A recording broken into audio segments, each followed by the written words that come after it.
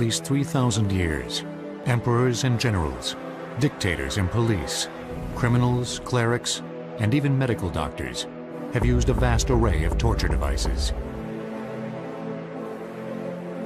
These insidious instruments included the mundane and the exotic. Everything from fists and feet to elaborate machines that literally slow-cooked their victims alive. Wooden crosses were favored by the ancient Romans. Various spiked metal encasements, stretching machines, and sexual devices by the medieval Europeans. Fists, beatings, and electricity by 21st century torturers.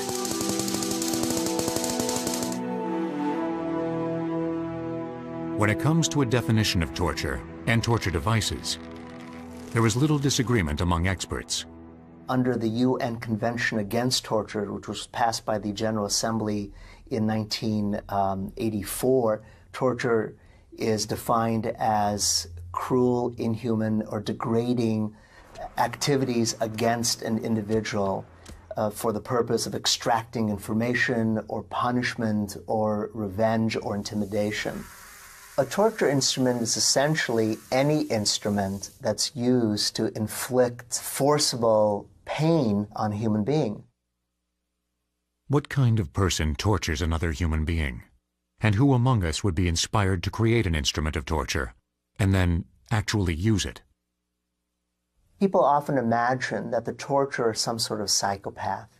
But in fact, torturers can be highly educated people who come out of universities who have studied music and art and philosophy, and they can also be brutal people who come out of the prisons and are used by the state to, uh, to act as torturers. Over the past decade, the United Nations has openly denounced the use of any torture for any reason by any nation state. But what about cases like the capture of the al-Qaeda military commander, Khalid Sheikh Mohammed? A man who was one of bin Laden's closest associates and al-Qaeda's number one strategist. Would torture be justified in an attempt to extract vital information from him about future acts of terrorism? Or to gain the names and locations of other terrorists in his vast network?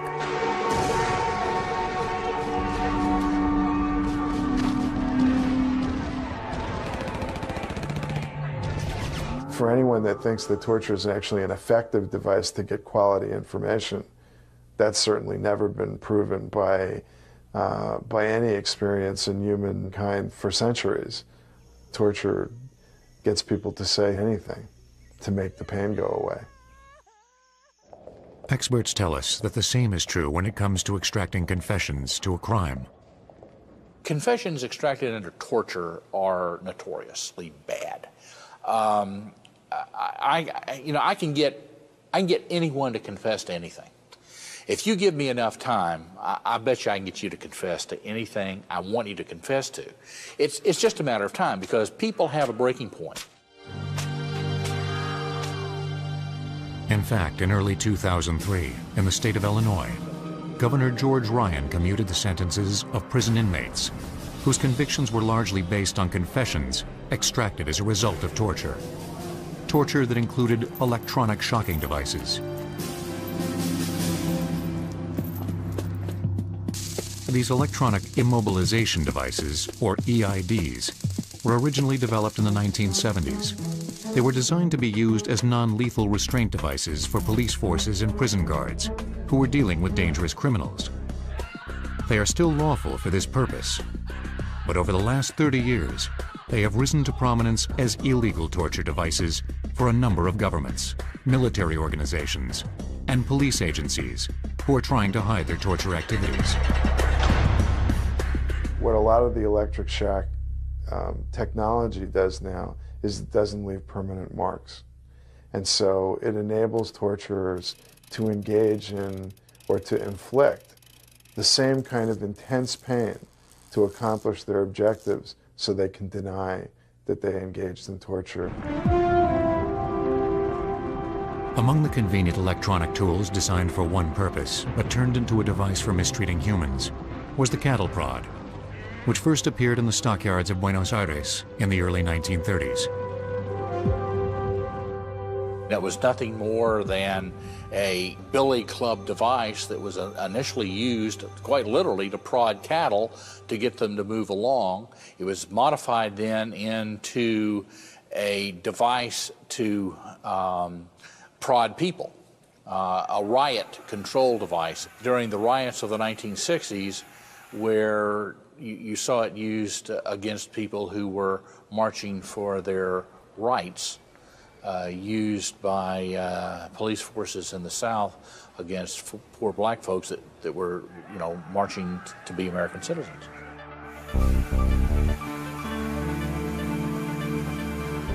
A modern cattle prod delivers a mild shock at the point of physical contact by means of a low voltage electric current sent across two electrodes.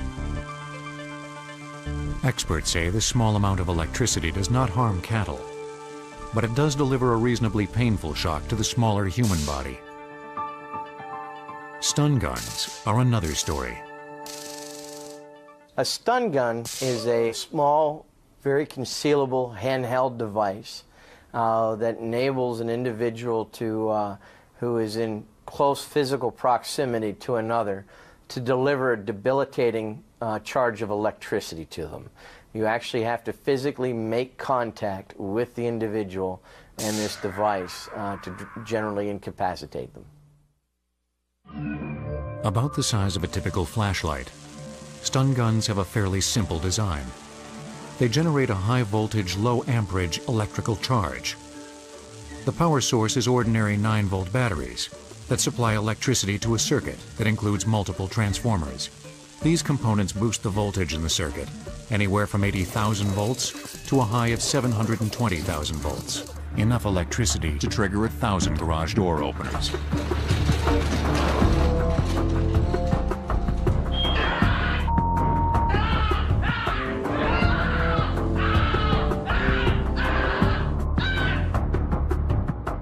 Stun belts are basically stun guns that are attached to prisoners by means of a heavy-duty, one-size-fits-all belt.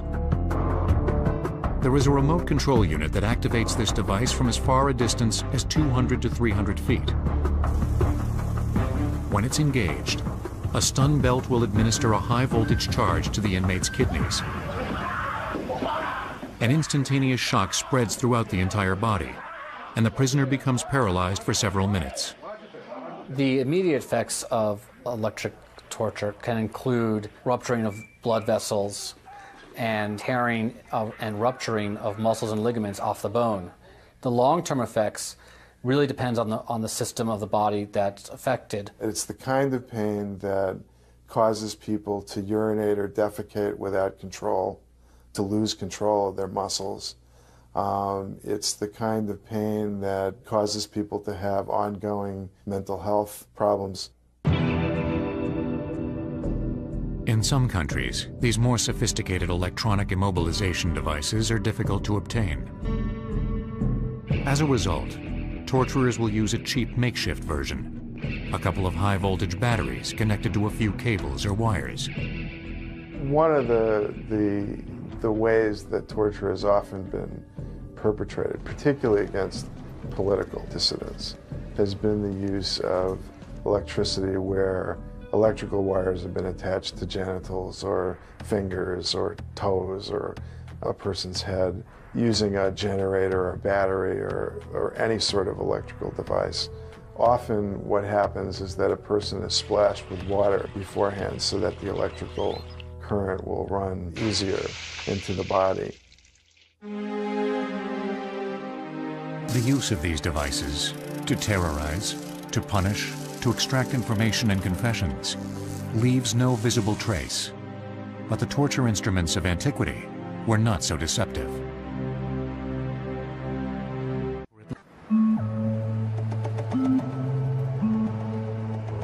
In the 21st century, governments claim that the practice of torture is despicable and horrifying. But for at least three millennia, torture was legal. It was a commonly used method of punishment, not only for criminals, but also for innocent slaves and foreigners. Over 3,000 years ago, the Chinese Book of Wisdom known as the I Ching spoke of a punishment called the Shi Ho in this way. Shin Ho, biting through. His neck is locked in the wooden Kong. His ears are gone. Great misfortune. This punishment required a device called the Kong. It was used for minor criminal offenses well into the 20th century. The Kong was a very large, heavy, thick wooden board with a hole cut in the middle the size of the victim's neck. This bulky device was worn for as long as 20 or 30 days. It was never allowed off the victim's neck. Because of the board's size, it was impossible for the victim to feed himself, making him dependent upon the kindness of others for food and drink. If he had no friends, he could die from starvation. In 1300 BC, in the Mediterranean world, the Egyptian pharaoh Ramses II is said to have tortured Hittite prisoners by flogging them with whips made of ox leather, weighted with bone splitters or metal hooks and spikes. His purpose was to extract information about their battle plan against Egypt and the location of their forces. The ancient Assyrians also practiced horrifying brutality, not just in warfare, but against their own dissident citizens. We have, for example, an ancient story of a village that tried to revolt against the Assyrian Empire. And the Assyrians rounded up the leaders of the revolt, flayed them alive, spread their skins on the city walls as a warning. We know this story from Assyrian sources. In other words, they wanted the story to be known. They wanted people to hear the horrific results of any who would oppose them. That is torture and terrorism. Nearly a thousand years later, it was the Greeks who brought their own brand of deadly ingenuity to the creation of one particular torture device the brazen bull. This was a large copper bronze uh, statue of a bull that was hollow. And according to the legend, according to the story, you would place someone inside this device and then heat it. The heat was created by fires that were lit underneath the hollow bronze figure, making the brazen bull function like an oven. The torture victim would slowly roast, as well as suffocate from the loss of oxygen caused by the tremendous heat. Supposedly, the groans of the person suffering inside would sound like the sound of a bull, the sound of a cow. It's a horrific thought. A few centuries later, the Romans became known for using torture with a vengeance throughout their far-flung empire. One of their most used torture devices was the flogging whip, also known as the flagellum. Its thongs were made from tanned ox leather, the ends of which were weighted with lead balls. As the torturer whipped his prisoner, these lead weights cut deeply and painfully into his victim's flesh. It's the lacerations themselves that probably hurt the most in uh, whipping and caning. It's the tearing of the flesh uh, against the bone below that hurt so much. It was during the reign of Tiberius that the most famous torture victim of all time, Jesus of Nazareth, was crucified. Crucifixion as a form of public execution predates the Romans. We know, at least as early as the Persian Empire, some kind of public display of death that involves hanging up victims. The idea seems rather straightforward. Make a person's death as publicly horrific as possible. The purpose of this was to send a powerful message to would-be dissidents and troublemakers. Do not defy the state's authority. Hundreds of years before Jesus' torture and execution, victims of crucifixion were tied, not nailed, to a single wooden stake that was planted firmly in the ground. They were left to die from thirst or from starvation. And there was always the possibility they would be attacked by hungry wild animals, searching for an easy meal. In approximately 70 BC, the Romans introduced the four-pointed cross that would later become the symbol of Christianity. But long before it was used to crucify Jesus, the Roman army made extensive use of their new cross when they crushed the slave rebellion led by the gladiator Spartacus in 71 BC. 6,000 of his followers were crucified. The Roman commander had their bodies hung from beams that lined the road from Capua, where the revolt began, to Rome, a distance of 270 miles. Spartacus himself was killed in the battle. When we think about who it was that Rome executed in these horrific public forum, like the crucifixion, it's clear to us. The Romans executed publicly anyone who was seen to oppose Roman power. Jesus of Nazareth was considered just such a threat. He was arrested during Passover, quickly tried and then convicted in the local Roman court. It was then that he was subjected to a series of tortures. There's little reason to doubt the New Testament picture that Jesus began suffering long before the actual crucifixion. That Jesus was whipped, that Jesus was beaten, that he was already cut and bleeding from crowns of thorns or from the whipping, and was made exhausted to carry the device of his own death. The flogging whip used on Jesus was the lead-weighted leather flagellum. The crown of thorns that was placed on his head may have been constructed from the branches of a plant with long curved thorns, called the Ziziphus spina-christi, that grows in the Jordan Valley. His final torture took place on the wooden cross. Crucifixion was designed to make death extended. That is, it was to inflict the maximum amount of pain and suffering and to make it last. Once at Golgotha, the location chosen for his crucifixion, iron spikes were driven through Jesus' wrists and feet. There was nothing in place to support his shoulders, neck, head, or the bulk of his body. As a result of this positioning, the uppermost portion of his trunk eventually would collapse over his diaphragm, making normal breathing impossible.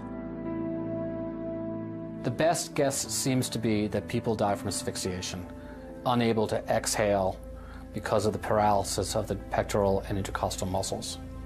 So their lungs become filled with carbon dioxide and unable to take in oxygen, and eventually they, they suffocate. The Romans continued crucifying and torturing Christians for the next 300 years. Then, ironically, the Roman Empire under Constantine embraced Christianity as its own state religion. But as the years passed, Christianity itself adopted the use of torture sending the imaginations of inventors of torture devices to new levels of darkness. The creation of tribunals to suppress opposing viewpoints has a long tradition.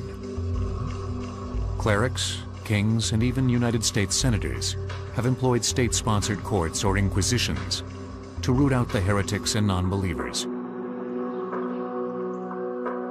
In the 15th century, it was the Spanish royals, Isabella and Ferdinand, who gave what became known as the Spanish Inquisition its place in history, as a harsh and deadly exercise of combined church and state power, dedicated to torturing those citizens who it named as heretics.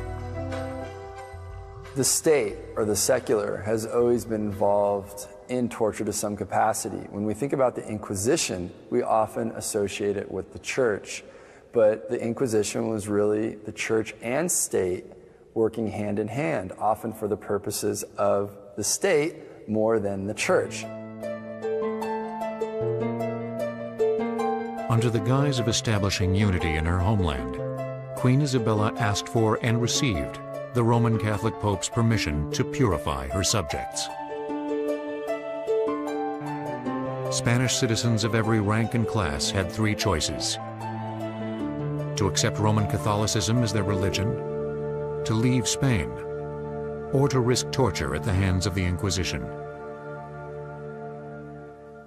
It only took two adult men to identify somebody as a heretic. At that point, they could be tried. But before a trial could begin, a confession from the accused was required. That's where torture became necessary. A typical torture session during the time of the Inquisition would often involve a number of different tools that would be present. And there might be a number of other people present participating. And it's very also important to note that there'd be other victims who were both in the process of being tortured or yet to be tortured. The face of torture during the Inquisition was the Iron Maiden, manufactured in Germany. It was a man-sized container fitted on the inside with sharp metal spikes, a torture device that was well known and deeply feared, not only in Spain, but in all of Europe. There was a great deal of craftsmanship, ingenuity, and knowledge of the human body to produce and design the Iron Maiden. As you open up, you'll notice that these spikes inside are placed in very strategic points intended to miss the vital organs. This was done to ensure the victim would remain alive as long as possible, all the while experiencing tremendous pain and suffering. While the Iron Maiden may have been the face of the Inquisition, it was generally thought that the rack was its workhorse. The rack is one of the most common forms of torture that we know um, in terms that you can use many different methods uh, in your process, in your torture creation. The first element is uh, the crank at the end. Now, here is where you would tie the person's feet, you would slowly uh, add more tension to the point of you know, elongating the body. They would be rolled across these spikes um, that would be much sharper, of course, at the time. And then at this end, the uh, hands would be locked down and really leaving the victim exposed. Um, and often, of course, naked. And at that point, any number of things can be done.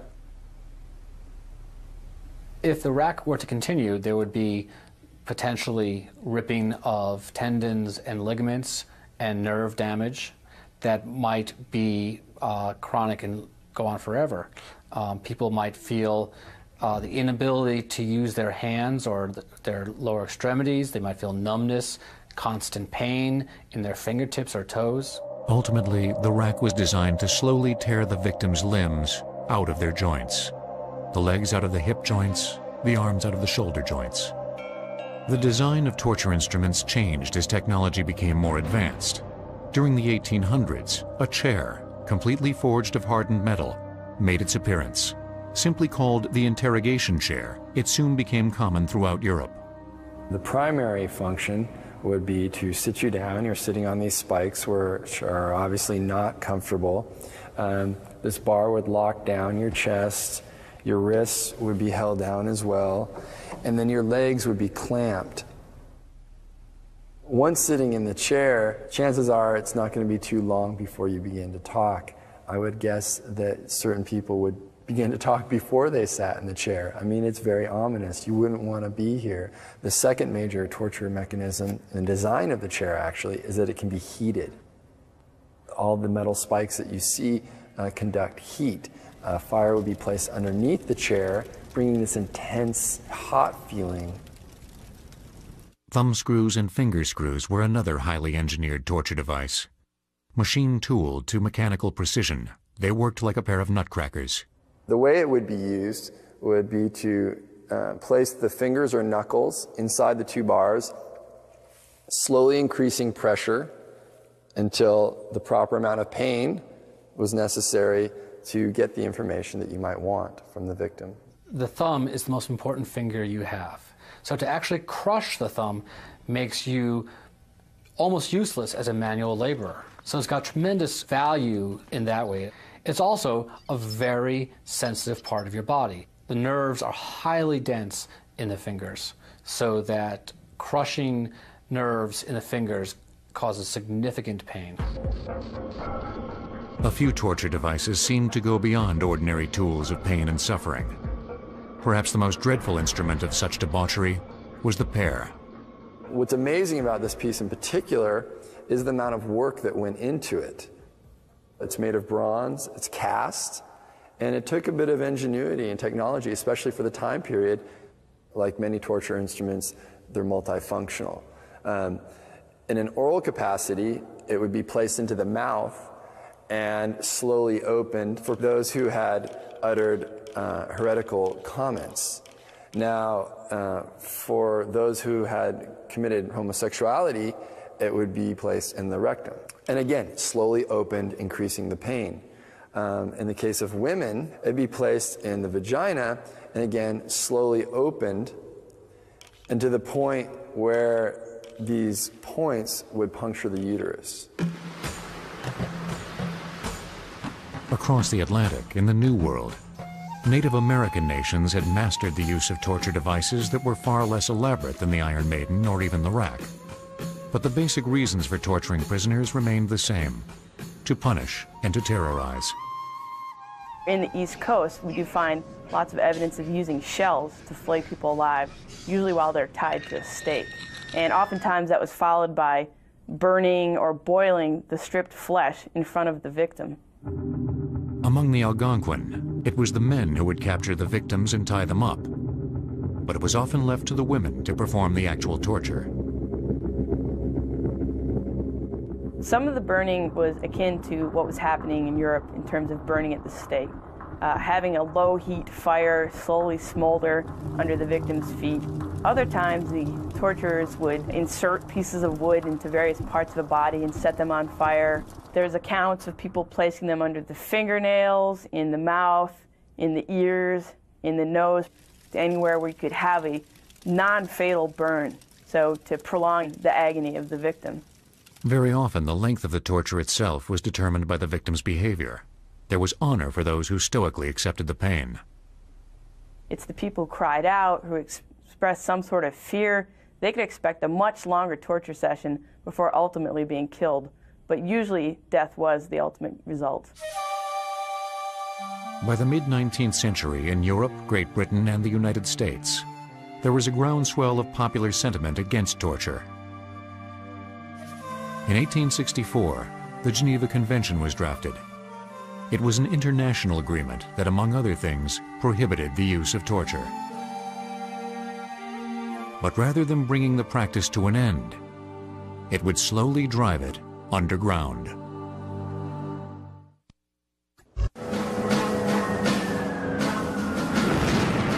By World War II, the practice of torture had been illegal for almost 80 years. The creators of torture devices should have been out of business. Instead, they turned to everyday appliances, items that could be found in the household or on the job. The amazing thing is, is the common devices, the things that you use in your everyday life, things that you find at home that become suddenly violent, sick devices of torture. A fork can be used to, to, to hold somebody's finger in place, to hold somebody's pinky in place, to, to stab somebody. Um, the same with the, you know, the pliers. I mean, again, they're so simple and yet they can create such agony. All of these things were used as torture devices by the Nazis, by the Gestapo. A famous French-born British spy named Odette was arrested by the Gestapo in Marseille in 1943.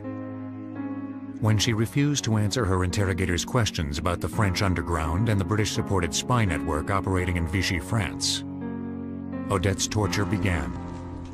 They took her to an interrogation room and they used a red hot poker and they touched it to her third or fourth lumbar and her spine and just held it there, burning her skin um, for, for up, up to minutes. Um, and they pulled her fingernails out very slowly, fingers and toenails, one at a time, with pliers. In spite of the wretched pain and heavy discharge of blood, Odette refused to give up her comrades, who she knew faced certain death. Even though she was herself sentenced to death, Odette somehow turned up in a concentration camp for women and survived the war. Most Gestapo torture victims knew they were being tortured because they had verbal secrets their torturers wanted. But a small group of victims at Auschwitz concentration camp had no idea that they were being tortured because they had medical secrets locked away in their bodies. The notorious Dr. Josef Mengele tortured his victims in the name of science. The devices he employed were the common tools of a physician scalpels, forceps, and surgical scissors. Really, he's remembered for his grotesque and vicious torture on the inmates, um, particularly twins, identical as opposed to fraternal. He would then perform various experiments. Some involved injecting different chemicals into the body of one twin and not the other and see how they react. Um, he also wanted to get take tissue samples um, from the major organs, and this was often done, you know, in the most brutal way. One of Mengele's most horrifying tortures was placing some twins into a vat of near boiling water for a period of time, and then strapping them onto a table so that the softened tissue samples could be more easily sliced away, without the benefit of anesthesia. There were 125 sets of twins in Auschwitz in 1944. By the end of the year, only a dozen or so survived. This is how monstrous a man, the, the experiments and all of these things that he performed, this is his legacy, really. And of course, he's never caught. I mean, he got away. Mengele vanished in 1945 when Allied forces liberated the camps. Despite international efforts to track him down, he was never apprehended. A 68-year-old man who died in Brazil in 1979 was later identified through DNA as Mengele.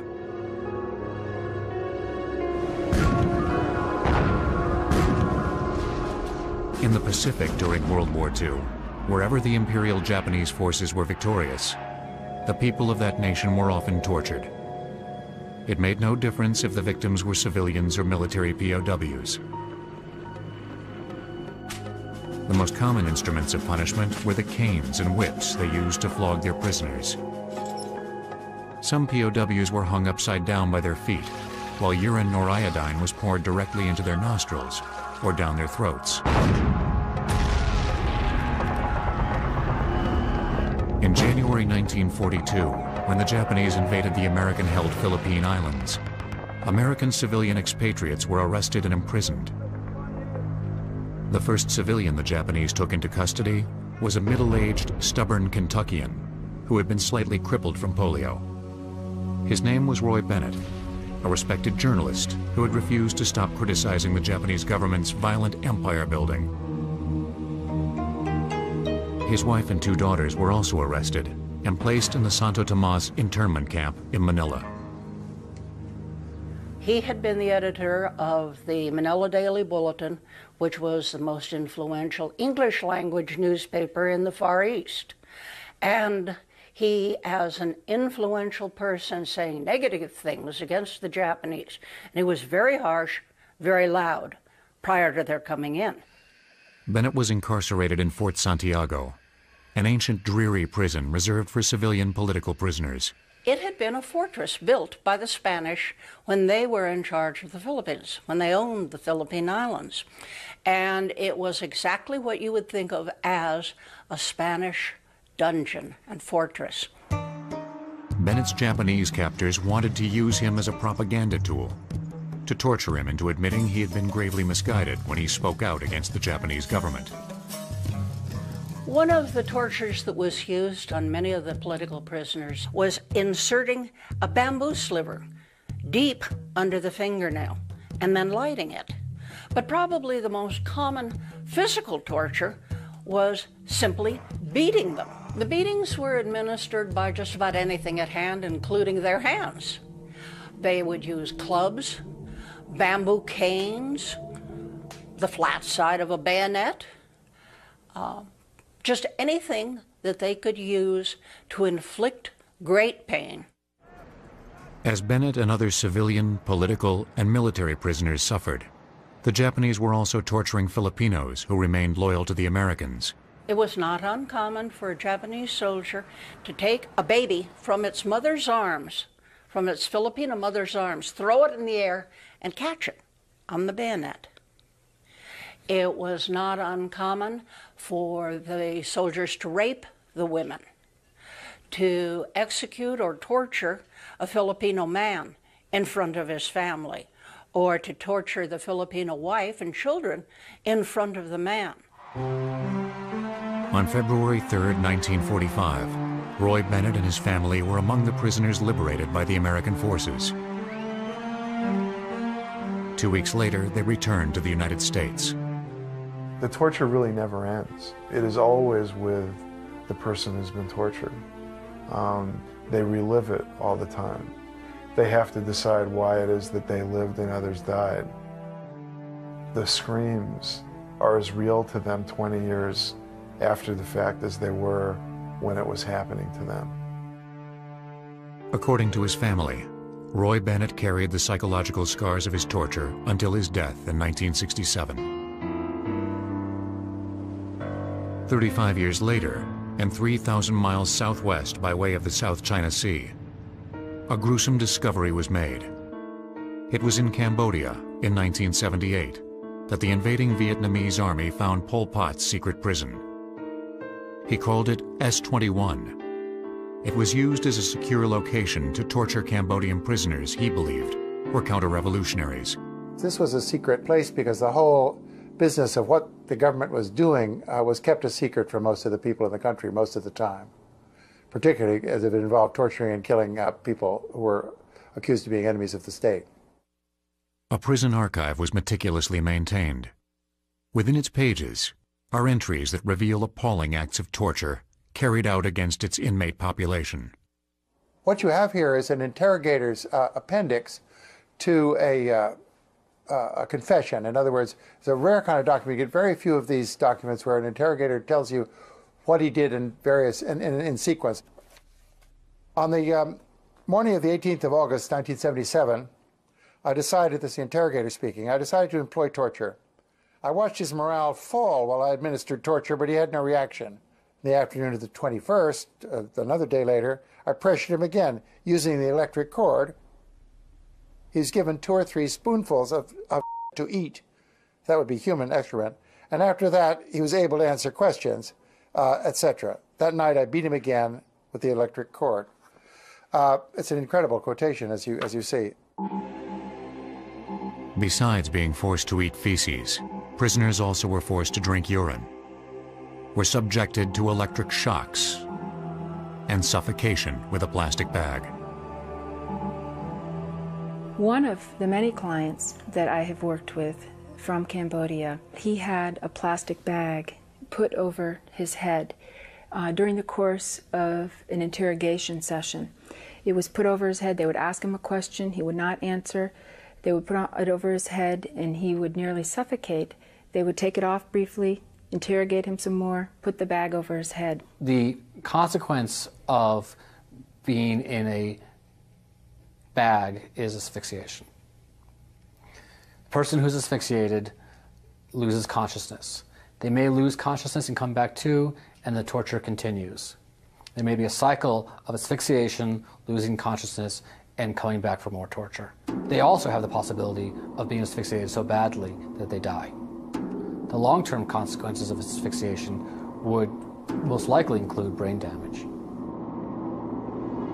In 1984, four years after the discovery of the horror of Pol Pot's secret prison, the United Nations General Assembly passed the UN Convention Against Torture. Even so, today the worldwide use of torture and torture devices continues to spin dangerously out of control.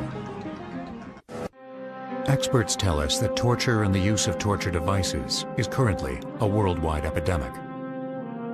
According to Amnesty International, 75% of the world's governments have employed torture since the beginning of the new millennium. Electronic shocking devices, beatings, and psychological abuse top the list. And there is an ever-increasing array of ordinary objects that are not technology-driven, but that are used as instruments of torture simply because they are available. Among the most disturbing may be sexual torture. Vaginal penetration, sodomization. Uh, men and women are, are subjected to rape as a form of torture. A famous example of that is the Coke bottle.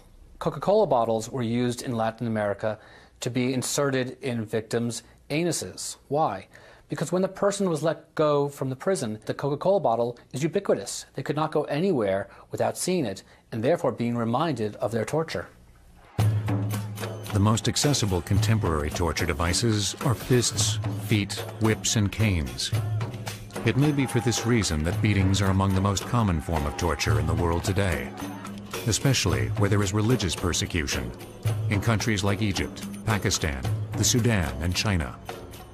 One famous form of torture that occurred for a long time and still occurs uh, throughout the world is falanga, which is the beating on the soles of the feet with a blunt object like a cane. What happens short term is tremendous pain and bleeding in the bottoms of the feet. But after that heals, for months and even years afterwards, the torture survivor has pain just walking on their feet. Beatings are sometimes accompanied with degrading acts of obscenity. A somewhat typical incident involved three Ethiopian women. First of all, they were stripped of their clothing. They were hung upside down by a pole, just an ordinary pole. Uh, and then they were whipped with cords. When they screamed, they would have socks put in their mouths. Sometimes they would be bloody socks, sometimes vomit filled socks, and this is a very typical form of torture.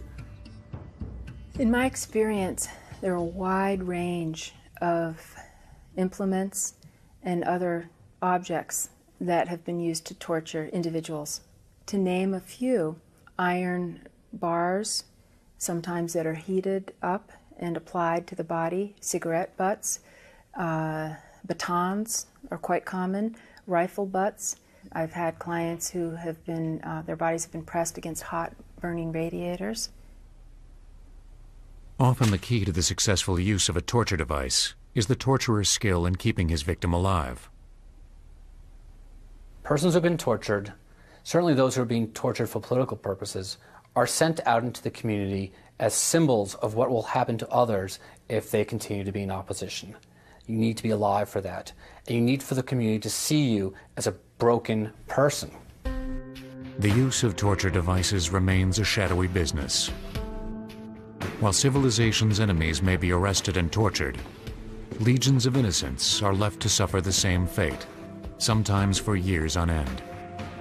With the threat of violence on the increase, it is likely the use of torture devices will increase as well. Ultimately, what people can really do to help resolve the issue of torture in our world is to gain a new understanding of it, to accept that it exists, and to become educated. Um, because it's real. And the more educated we are about it, the more likely we are to do what we can to resolve it. This is a dark side of our humanity that we need to deal with and better understand.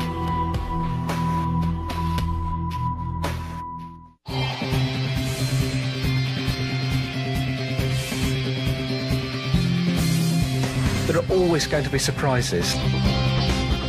You don't have to speak the language to be able to interact with people. Knowing that can make you look at history in a new and at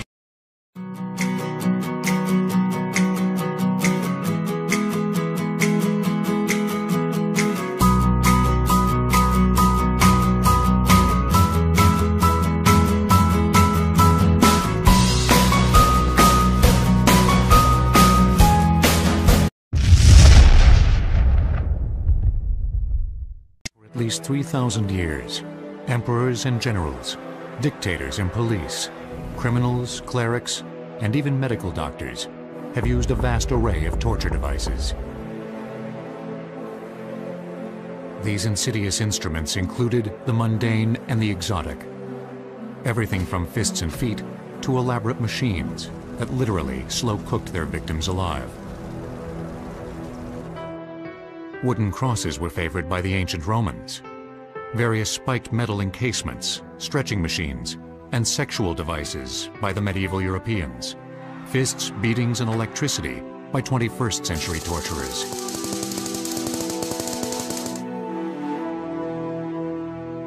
When it comes to a definition of torture and torture devices, there is little disagreement among experts under the UN Convention Against Torture, which was passed by the General Assembly in 1984, torture is defined as cruel, inhuman, or degrading activities against an individual uh, for the purpose of extracting information or punishment or revenge or intimidation. A torture instrument is essentially any instrument that's used to inflict forcible pain on a human being. What kind of person tortures another human being? And who among us would be inspired to create an instrument of torture and then actually use it? People often imagine that the torturer is some sort of psychopath. But in fact, torturers can be highly educated people who come out of universities who have studied music and art and philosophy, and they can also be brutal people who come out of the prisons and are used by the state to, uh, to act as torturers. Over the past decade, the United Nations has openly denounced the use of any torture for any reason by any nation state. But what about cases like the capture of the al-Qaeda military commander, Khalid Sheikh Mohammed? A man who was one of bin Laden's closest associates and al-Qaeda's number one strategist. Would torture be justified in an attempt to extract vital information from him about future acts of terrorism? Or to gain the names and locations of other terrorists in his vast network?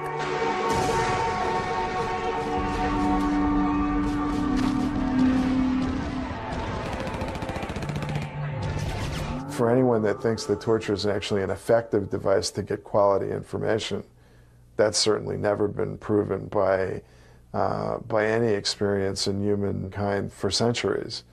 Torture gets people to say anything to make the pain go away. Experts tell us that the same is true when it comes to extracting confessions to a crime. Confessions extracted under torture are notoriously bad. Um, I, I, you know, I can get, I can get anyone to confess to anything. If you give me enough time, I, I, bet you I can get you to confess to anything I want you to confess to. It's, it's just a matter of time because people have a breaking point.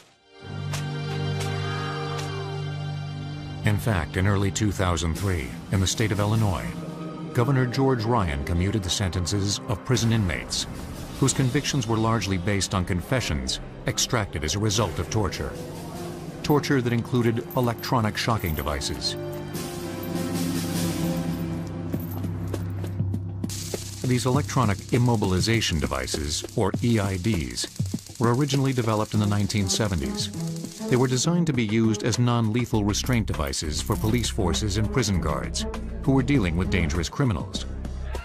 They are still lawful for this purpose, but over the last 30 years, they have risen to prominence as illegal torture devices for a number of governments, military organizations, and police agencies who are trying to hide their torture activities. What a lot of the electric shock um, technology does now is it doesn't leave permanent marks.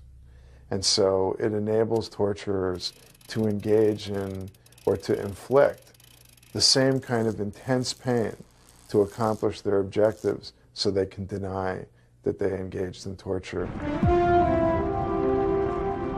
Among the convenient electronic tools designed for one purpose, but turned into a device for mistreating humans, was the cattle prod, which first appeared in the stockyards of Buenos Aires in the early 1930s. It was nothing more than a billy club device that was uh, initially used quite literally to prod cattle to get them to move along. It was modified then into a device to um, prod people, uh, a riot control device. During the riots of the 1960s, where you, you saw it used against people who were marching for their rights, uh, used by uh, police forces in the South against poor black folks that, that were, you know, marching to be American citizens.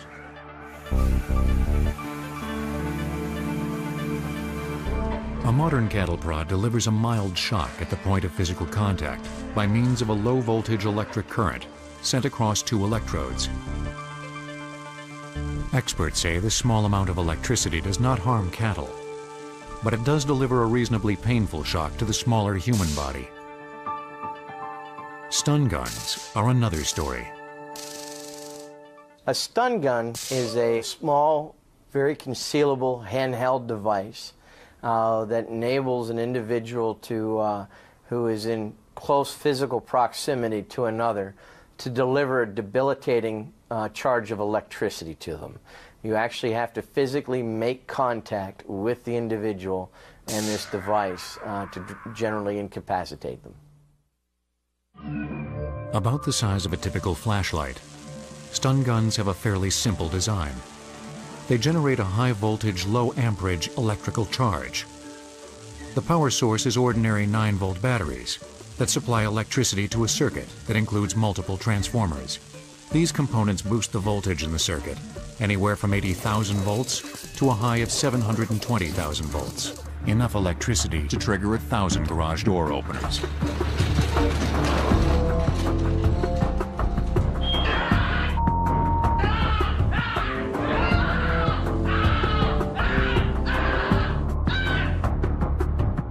Stun belts are basically stun guns that are attached to prisoners by means of a heavy-duty, one-size-fits-all belt. There is a remote control unit that activates this device from as far a distance as 200 to 300 feet. When it's engaged, a stun belt will administer a high voltage charge to the inmates. Once sitting in the chair, chances are it's not going to be too long before you begin to talk. I would guess that certain people would begin to talk before they sat in the chair. I mean, it's very ominous. You wouldn't want to be here. The second major torture mechanism in the design of the chair, actually, is that it can be heated. All the metal spikes that you see uh, conduct heat. Uh, fire would be placed underneath the chair, bringing this intense, hot feeling. Thumb screws and finger screws were another highly engineered torture device. Machine tooled to mechanical precision, they worked like a pair of nutcrackers. The way it would be used would be to uh, place the fingers or knuckles inside the two bars, slowly increasing pressure until the proper amount of pain was necessary to get the information that you might want from the victim. The thumb is the most important finger you have. So to actually crush the thumb makes you almost useless as a manual laborer. So it's got tremendous value in that way. It's also a very sensitive part of your body. The nerves are highly dense in the fingers, so that crushing nerves in the fingers causes significant pain. A few torture devices seem to go beyond ordinary tools of pain and suffering. Perhaps the most dreadful instrument of such debauchery was the pear. What's amazing about this piece in particular is the amount of work that went into it. It's made of bronze, it's cast, and it took a bit of ingenuity and technology, especially for the time period. Like many torture instruments, they're multifunctional. Um, in an oral capacity, it would be placed into the mouth and slowly opened for those who had uttered uh, heretical comments. Now, uh, for those who had committed homosexuality, it would be placed in the rectum. And again, slowly opened, increasing the pain. Um, in the case of women, it'd be placed in the vagina, and again, slowly opened, and to the point where these points would puncture the uterus. Across the Atlantic, in the New World, Native American nations had mastered the use of torture devices that were far less elaborate than the Iron Maiden or even the rack. But the basic reasons for torturing prisoners remained the same to punish and to terrorize. In the East Coast, we do find lots of evidence of using shells to flay people alive, usually while they're tied to a stake. And oftentimes that was followed by burning or boiling the stripped flesh in front of the victim. Among the Algonquin, it was the men who would capture the victims and tie them up. But it was often left to the women to perform the actual torture. Some of the burning was akin to what was happening in Europe in terms of burning at the stake. Uh, having a low heat fire slowly smolder under the victim's feet. Other times, the torturers would insert pieces of wood into various parts of the body and set them on fire. There's accounts of people placing them under the fingernails, in the mouth, in the ears, in the nose, anywhere where you could have a non fatal burn, so to prolong the agony of the victim. Very often, the length of the torture itself was determined by the victim's behavior. There was honor for those who stoically accepted the pain. It's the people who cried out, who ex expressed some sort of fear. They could expect a much longer torture session before ultimately being killed but usually death was the ultimate result. By the mid 19th century in Europe, Great Britain, and the United States, there was a groundswell of popular sentiment against torture. In 1864, the Geneva Convention was drafted. It was an international agreement that, among other things, prohibited the use of torture. But rather than bringing the practice to an end, it would slowly drive it underground.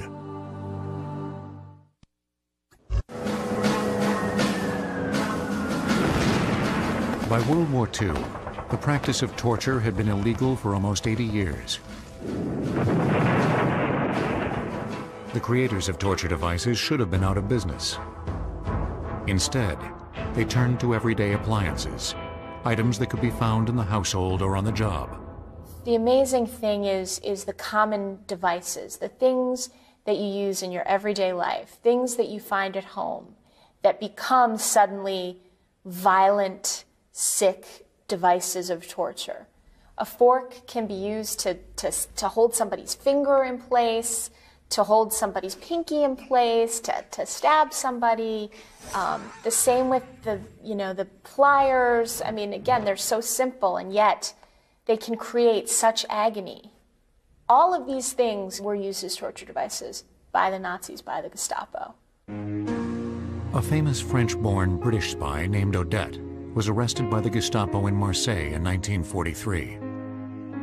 When she refused to answer her interrogators' questions about the French underground and the British-supported spy network operating in Vichy, France, Odette's torture began. They took her to an interrogation room and they used a red hot poker and they touched it to her third or fourth lumbar and her spine and just held it there, burning her skin um, for, for up, up to minutes. Um, and they pulled her fingernails out very slowly, fingers and toenails, one at a time, with pliers. In spite of the wretched pain and heavy discharge of blood, Odette refused to give up her comrades, who she knew faced certain death. Even though she was herself sentenced to death, Odette somehow turned up in a concentration camp for women and survived the war. Most Gestapo torture victims knew they were being tortured because they had verbal secrets their torturers wanted. But a small group of victims at Auschwitz concentration camp had no idea that they were being tortured because they had medical secrets locked away in their bodies. The notorious Dr. Josef Mengele tortured his victims in the name of science. The devices he employed were the common tools of a physician scalpels, forceps, and surgical scissors. Really, he's remembered for his grotesque and vicious torture on the inmates, um, particularly twins, identical as opposed to fraternal. He would then perform various experiments. Some involved injecting different chemicals into the body of one twin and not the other and see how they react. Um, he also wanted to get, take tissue samples um, from the major organs, and this was often done, you know, in the most brutal way. One of Mengele's most horrifying tortures was placing some twins into a vat of near boiling water for a period of time, and then strapping them onto a table so that the softened tissue samples could be more easily sliced away without the benefit of anesthesia. There were 125 sets of twins in Auschwitz in 1944. By the end of the year, only a dozen or so survived. This is how monstrous a man, the, the experiments and all of these things that he performed, this is his legacy, really. And of course, he's never caught. I mean, he got away. Mengele vanished in 1945 when Allied forces liberated the camps. Despite international efforts to track him down, he was never apprehended. A 68-year-old man who died in Brazil in 1979 was later identified through DNA as Mengele.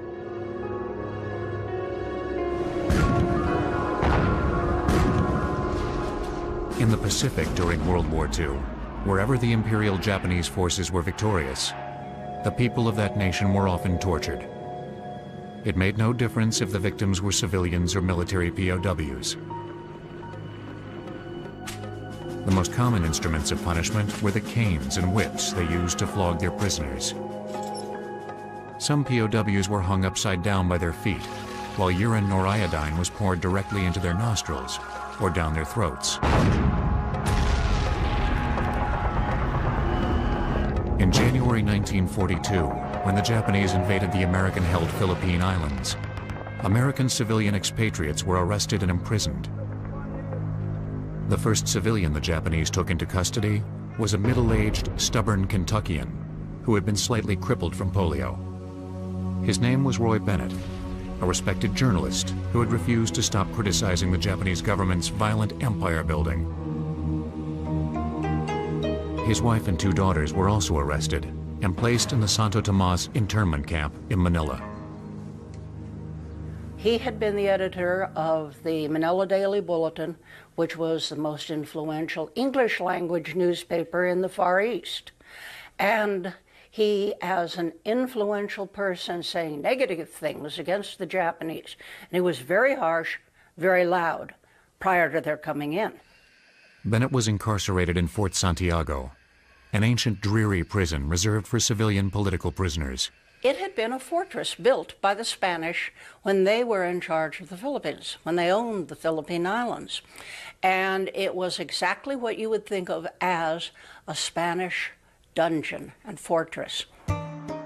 Bennett's Japanese captors wanted to use him as a propaganda tool, to torture him into admitting he had been gravely misguided when he spoke out against the Japanese government. One of the tortures that was used on many of the political prisoners was inserting a bamboo sliver deep under the fingernail and then lighting it. But probably the most common physical torture was simply beating them. The beatings were administered by just about anything at hand, including their hands. They would use clubs, bamboo canes, the flat side of a bayonet, uh, just anything that they could use to inflict great pain. As Bennett and other civilian, political, and military prisoners suffered, the Japanese were also torturing Filipinos who remained loyal to the Americans. It was not uncommon for a Japanese soldier to take a baby from its mother's arms, from its Filipino mother's arms, throw it in the air, and catch it on the bayonet.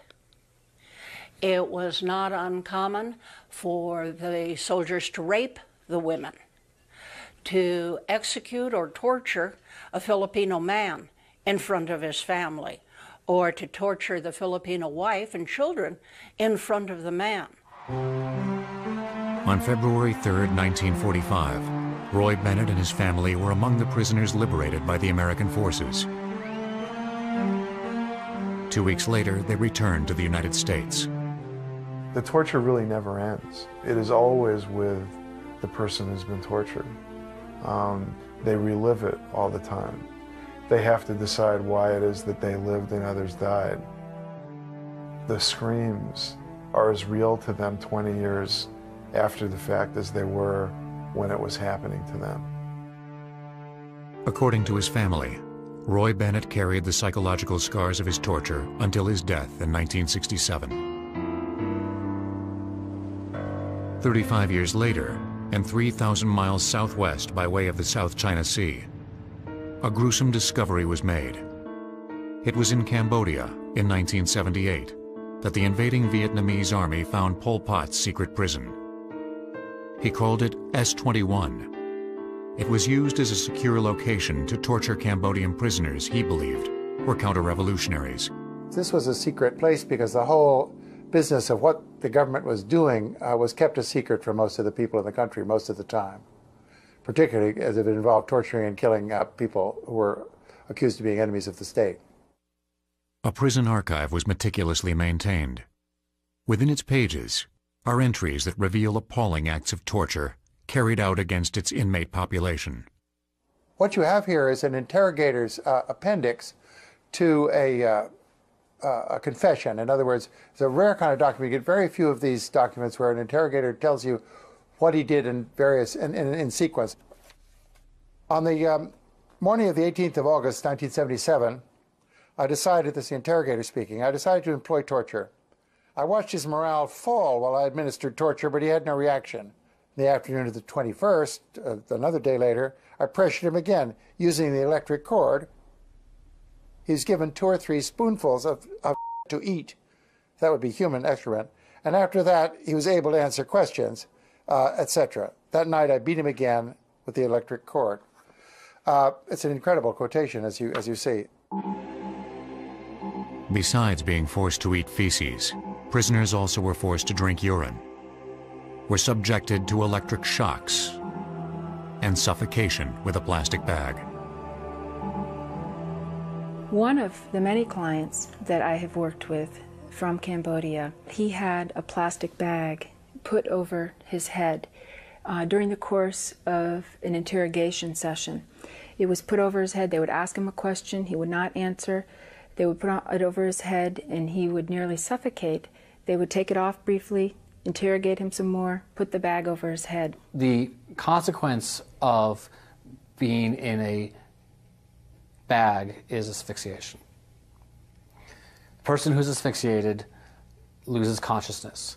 They may lose consciousness and come back to, and the torture continues. There may be a cycle of asphyxiation, losing consciousness, and coming back for more torture. They also have the possibility of being asphyxiated so badly that they die. The long kidneys. An instantaneous shock spreads throughout the entire body, and the prisoner becomes paralyzed for several minutes. The immediate effects of electric torture can include rupturing of blood vessels and tearing of, and rupturing of muscles and ligaments off the bone. The long-term effects really depends on the on the system of the body that's affected. It's the kind of pain that causes people to urinate or defecate without control, to lose control of their muscles. Um, it's the kind of pain that causes people to have ongoing mental health problems. In some countries, these more sophisticated electronic immobilization devices are difficult to obtain. As a result, torturers will use a cheap makeshift version, a couple of high voltage batteries connected to a few cables or wires. One of the, the, the ways that torture has often been perpetrated, particularly against political dissidents, has been the use of electricity where electrical wires have been attached to genitals or fingers or toes or a person's head using a generator or battery or, or any sort of electrical device. Often what happens is that a person is splashed with water beforehand so that the electrical current will run easier into the body. The use of these devices to terrorize, to punish, to extract information and confessions leaves no visible trace. But the torture instruments of antiquity were not so deceptive.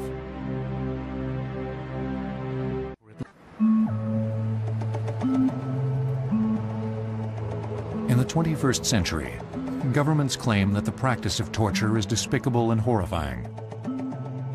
But for at least three millennia, torture was legal. It was a commonly used method of punishment, not only for criminals, but also for innocent slaves and foreigners.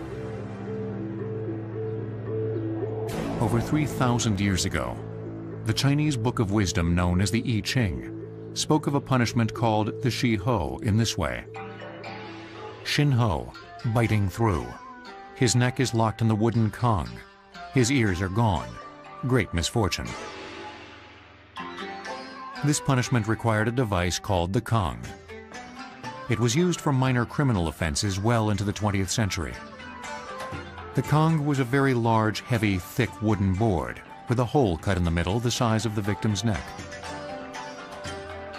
This bulky device was worn for as long as 20 or 30 days. It was never allowed off the victim's neck.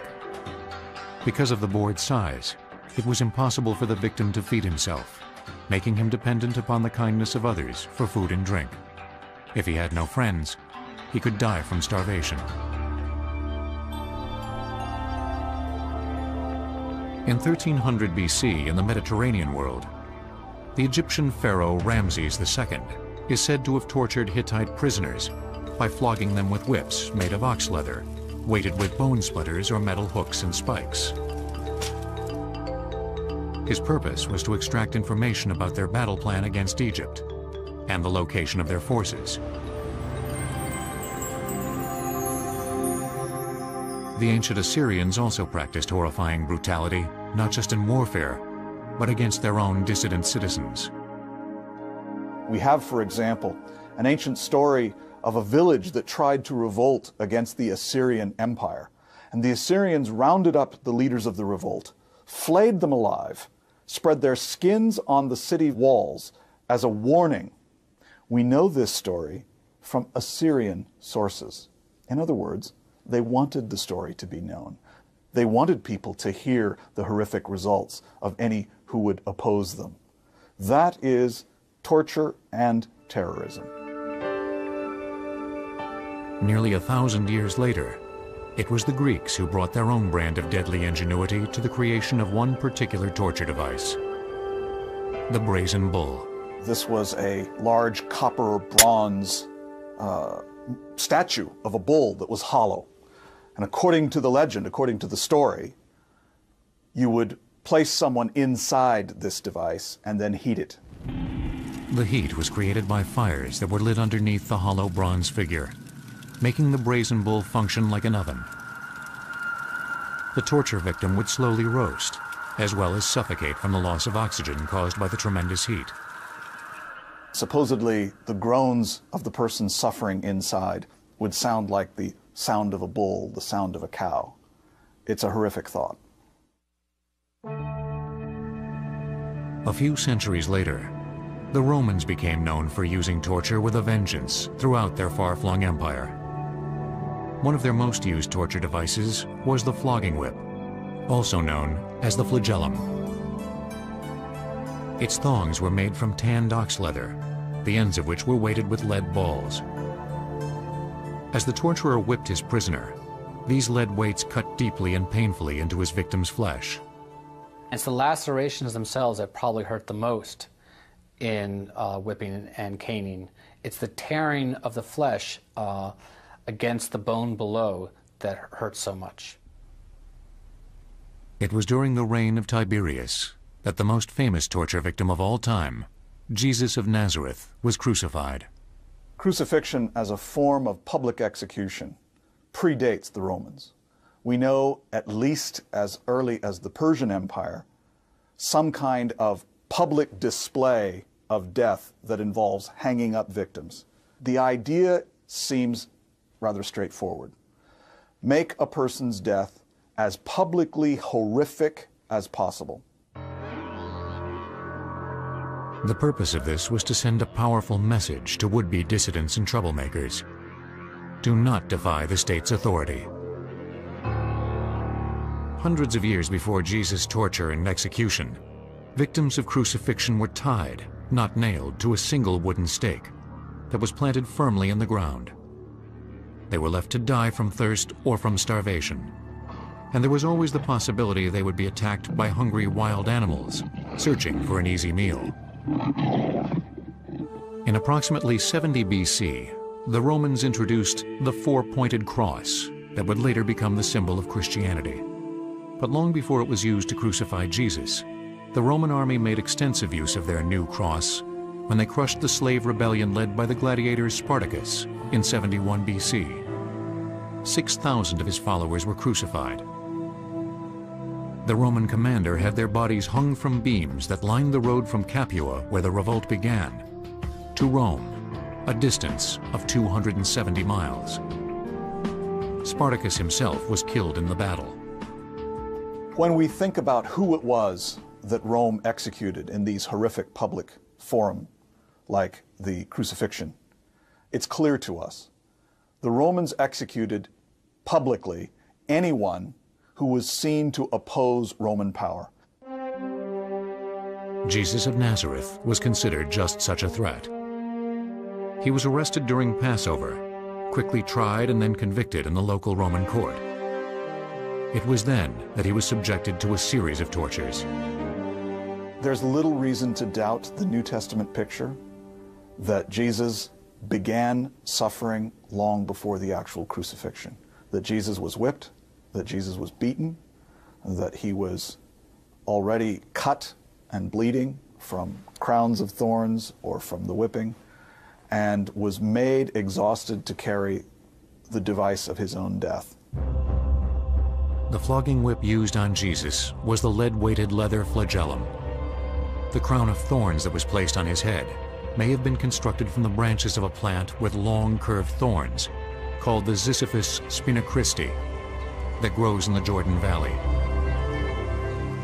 His final torture took place on the wooden cross. Crucifixion was designed to make death extended. That is, it was to inflict the maximum amount of pain and suffering and to make it last.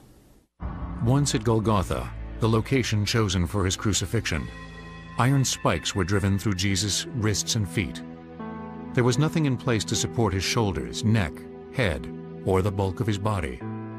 As a result of this positioning, the uppermost portion of his trunk eventually would collapse over his diaphragm, making normal breathing impossible.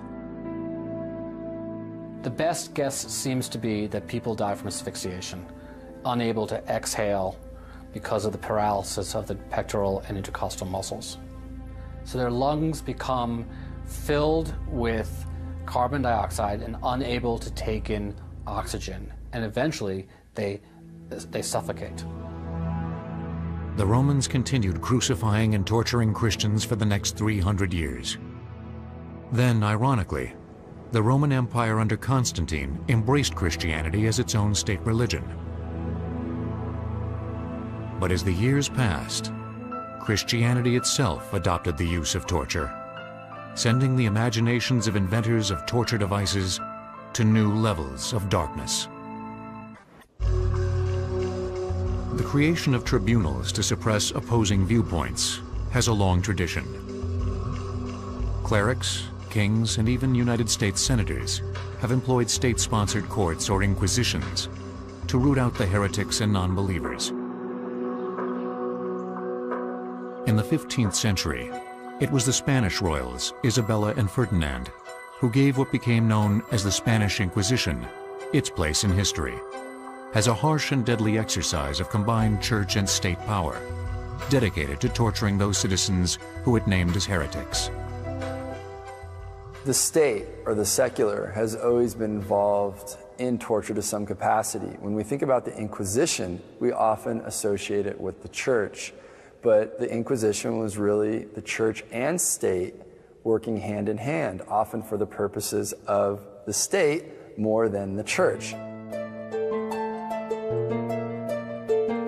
Under the guise of establishing unity in her homeland, Queen Isabella asked for and received the Roman Catholic Pope's permission to purify her subjects.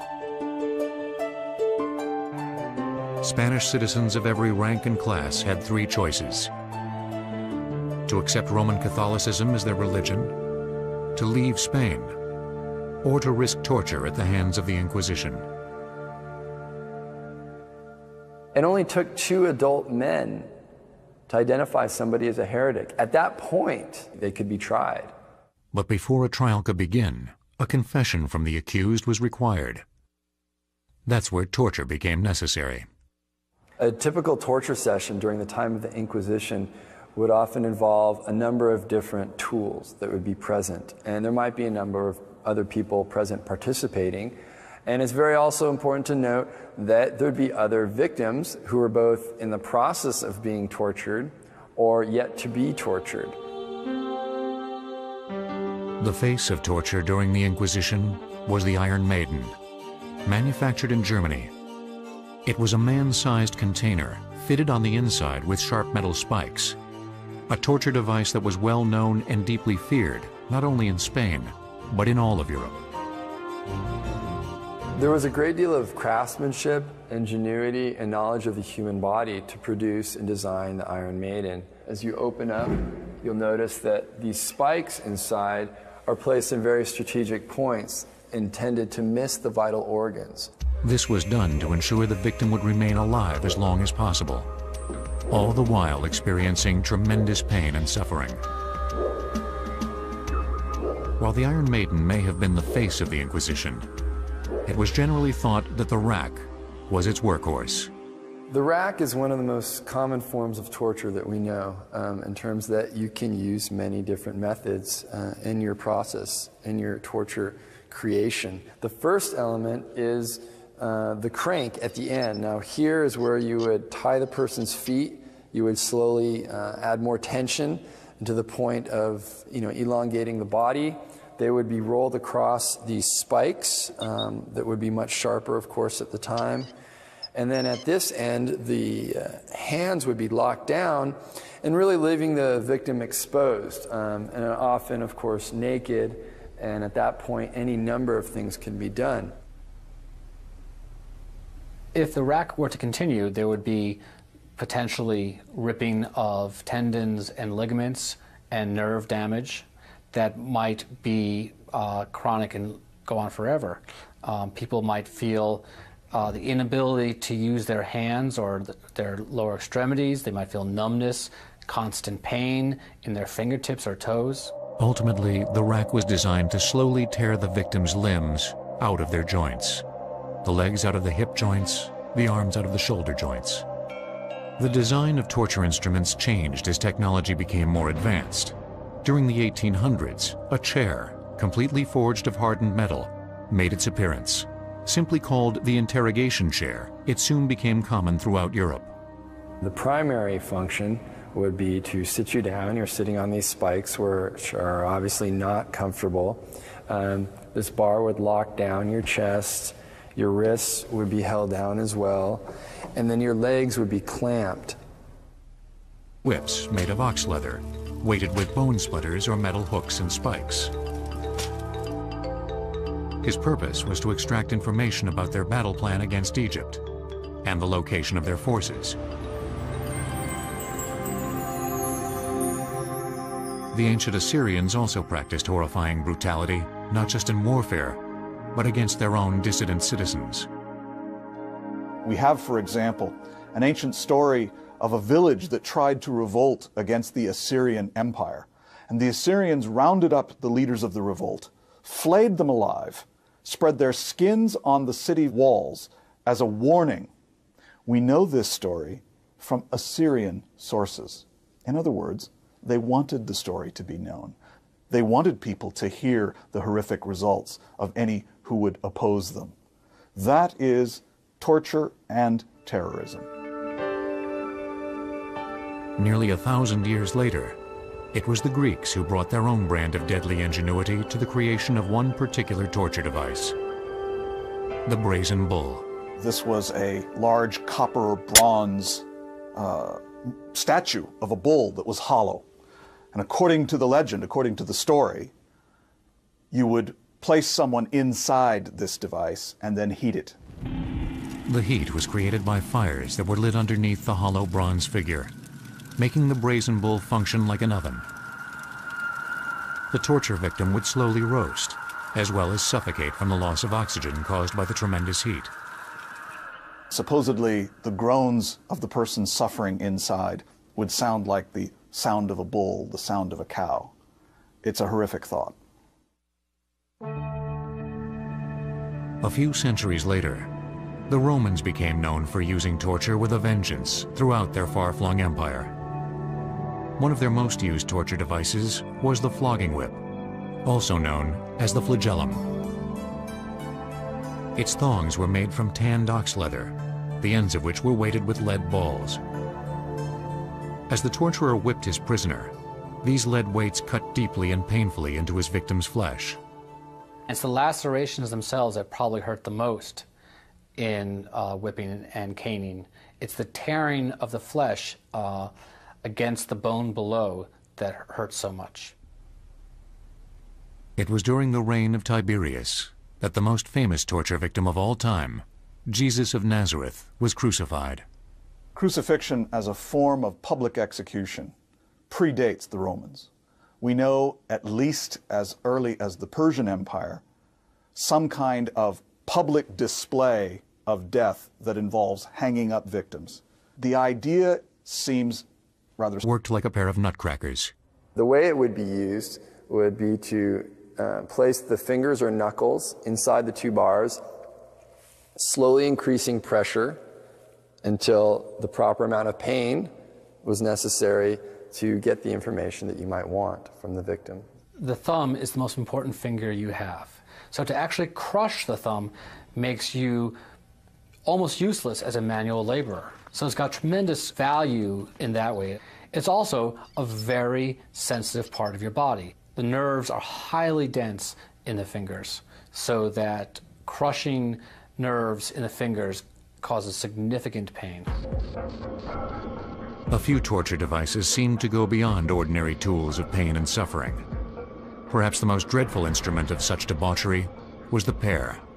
What's amazing about this piece in particular is the amount of work that went into it. It's made of bronze, it's cast, and it took a bit of ingenuity and technology, especially for the time period. Like many torture instruments, they're multifunctional. Um, in an oral capacity, it would be placed into the mouth and slowly opened for those who had uttered uh, heretical comments. Now, uh, for those who had committed homosexuality, it would be placed in the rectum. And again, slowly opened, increasing the pain. Um, in the case of women, it'd be placed in the vagina, and again, slowly opened, and to the point where these points would puncture the uterus. Across the Atlantic, in the New World, Native American nations had mastered the use of torture devices that were far less elaborate than the Iron Maiden or even the rack. But the basic reasons for torturing prisoners remained the same to punish and to terrorize. In the East Coast, we do find lots of evidence of using shells to flay people alive, usually while they're tied to a stake. And oftentimes that was followed by burning or boiling the stripped flesh in front of the victim. Among the Algonquin, it was the men who would capture the victims and tie them up. But it was often left to the women to perform the actual torture. Some of the burning was akin to what was happening in Europe in terms of burning at the stake. Uh, having a low heat fire slowly smolder under the victim's feet. Other times, the torturers would insert pieces of wood into various parts of the body and set them on fire. There's accounts of people placing them under the fingernails, in the mouth, in the ears, in the nose, anywhere where you could have a non fatal burn, so to prolong the agony of the victim. Very often, the length of the torture itself was determined by the victim's behavior. There was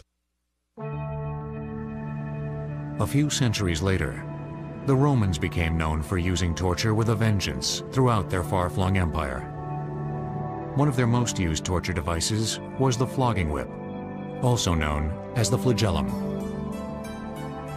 Its thongs were made from tanned ox leather, the ends of which were weighted with lead balls. As the torturer whipped his prisoner, these lead weights cut deeply and painfully into his victim's flesh. It's the lacerations themselves that probably hurt the most in uh, whipping and caning. It's the tearing of the flesh uh, against the bone below that hurts so much. It was during the reign of Tiberius that the most famous torture victim of all time, Jesus of Nazareth, was crucified. Crucifixion as a form of public execution predates the Romans.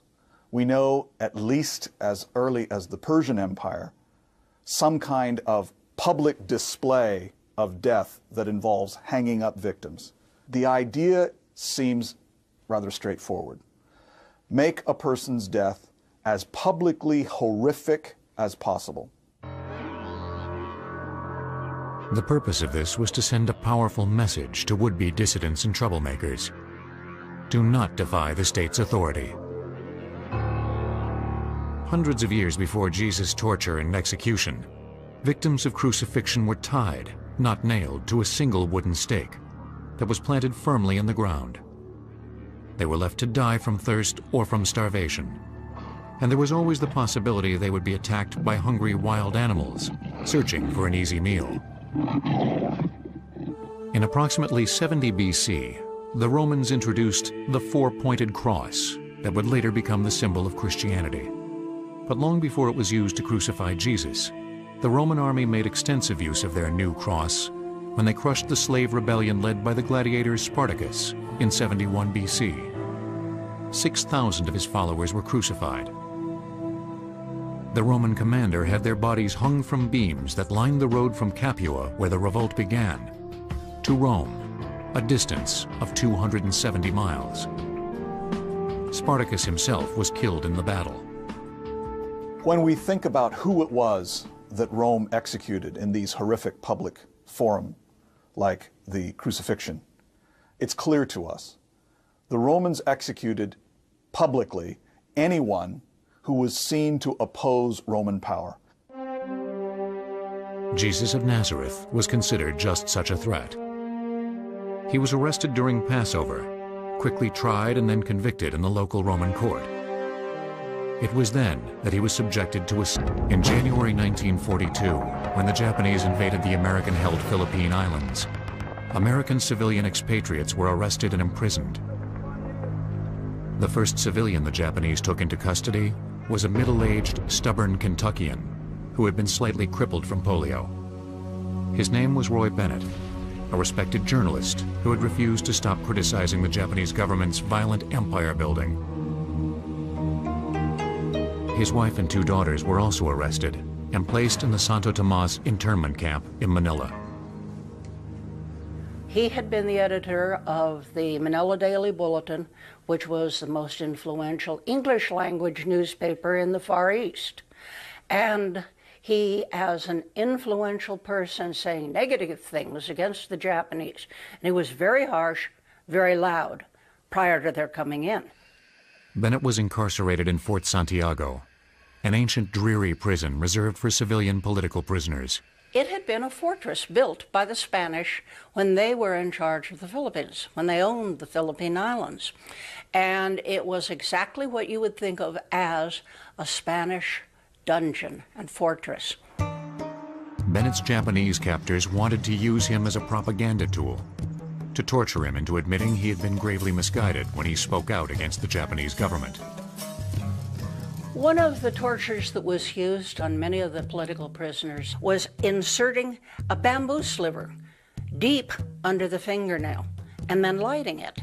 But probably the most common physical torture was simply beating them. The beatings were administered by just about anything at hand, including their hands. They would use clubs, bamboo canes, the flat side of a bayonet, uh, just anything that they could use to inflict great pain. As Bennett and other civilian, political, and military prisoners suffered, the Japanese were also torturing Filipinos who remained loyal to the Americans. It was not uncommon for a Japanese soldier to take a baby from its mother's arms, from its Filipino mother's arms, throw it in the air, and catch it on the bayonet. It was not uncommon for the soldiers to rape the women, to execute or torture a Filipino man in front of his family, or to torture the Filipino wife and children in front of the man. On February 3, 1945, Roy Bennett and his family were among the prisoners liberated by the American forces. Two weeks later, they returned to the United States. The torture really never ends. It is always with the person who's been manual laborer. So it's got tremendous value in that way. It's also a very sensitive part of your body. The nerves are highly dense in the fingers, so that crushing nerves in the fingers causes significant pain. A few torture devices seem to go beyond ordinary tools of pain and suffering. Perhaps the most dreadful instrument of such debauchery was the pear. What's amazing about this piece in particular is the amount of work that went into it. It's made of bronze, it's cast, and it took a bit of ingenuity and technology, especially for the time period. Like many torture instruments, they're multifunctional. Um, in an oral capacity, it would be placed into the mouth and slowly opened for those who had uttered uh, heretical comments. Now, uh, for those who had committed homosexuality, it would be placed in the rectum. And again, slowly opened, increasing the pain. Um, in the case of women, it'd be placed in the vagina and again slowly opened and to the point where these points would puncture the uterus. Across the Atlantic, in the New World, Native American nations had mastered the use of torture devices that were far less elaborate than the Iron Maiden or even the rack. But the basic reasons for torturing prisoners remained the same to punish and to terrorize. In the East Coast, we do find lots of evidence of using shells to flay people alive, usually while they're tied to a stake. And oftentimes that was followed by burning or boiling the stripped flesh in front of the victim. Among the Algonquin, it was the men who would capture the victims and tie them up. But it was often left to the women to perform the actual torture. Some of the burning was akin to what was happening in Europe in terms of burning at the stake. Uh, having a low heat fire slowly smolder under the victim's feet. Other times, the torturers would insert pieces of wood into various parts of the body and set them on fire. There's accounts of people placing them under the fingernails, in the mouth, in the ears, in the nose, anywhere where you could have a non fatal burn, so to prolong the agony of the victim. Very often, the length of the torture itself was determined by the victim's behavior. There was honor for those who stoically accepted the pain. It's the people who cried out, who ex expressed some sort of fear.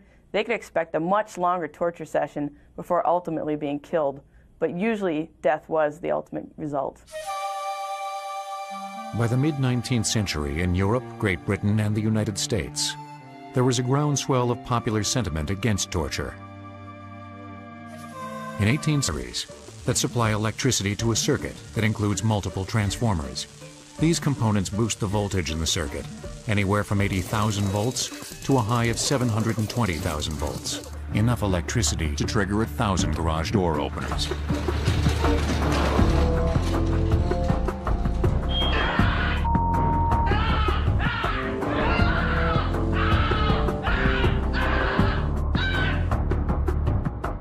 Stun belts are basically stun guns that are attached to prisoners by means of a heavy-duty, one-size-fits-all belt. There is a remote control unit that activates this device from as far a distance as 200 to 300 feet. When it's engaged, a stun belt will administer a high-voltage charge to the inmate's kidneys. An instantaneous shock spreads throughout the entire body, and the prisoner becomes paralyzed for several minutes. The immediate effects of electric torture can include rupturing of blood vessels and tearing of, and rupturing of muscles and ligaments off the bone. The long-term effects really depends on the on the system of the body that's affected. It's the kind of pain that causes people to urinate or defecate without control, to lose control of their muscles. Um, it's the kind of pain that causes people to have ongoing mental health problems. In some countries, these more sophisticated electronic immobilization devices are difficult to obtain. As a result, torturers will use a cheap makeshift version, a couple of high-voltage batteries connected to a few cables or wires. One of the, the, the ways that torture has often been perpetrated, particularly against political dissidents, has been the use of electricity where electrical wires have been attached to genitals or fingers or toes or a person's head using a generator or battery or, or any sort of electrical device.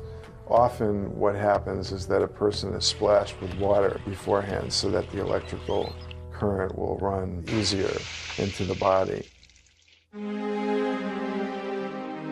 The use of these devices to terrorize, to punish, to extract information and confessions leaves no visible trace. But the torture instruments of antiquity were not so deceptive.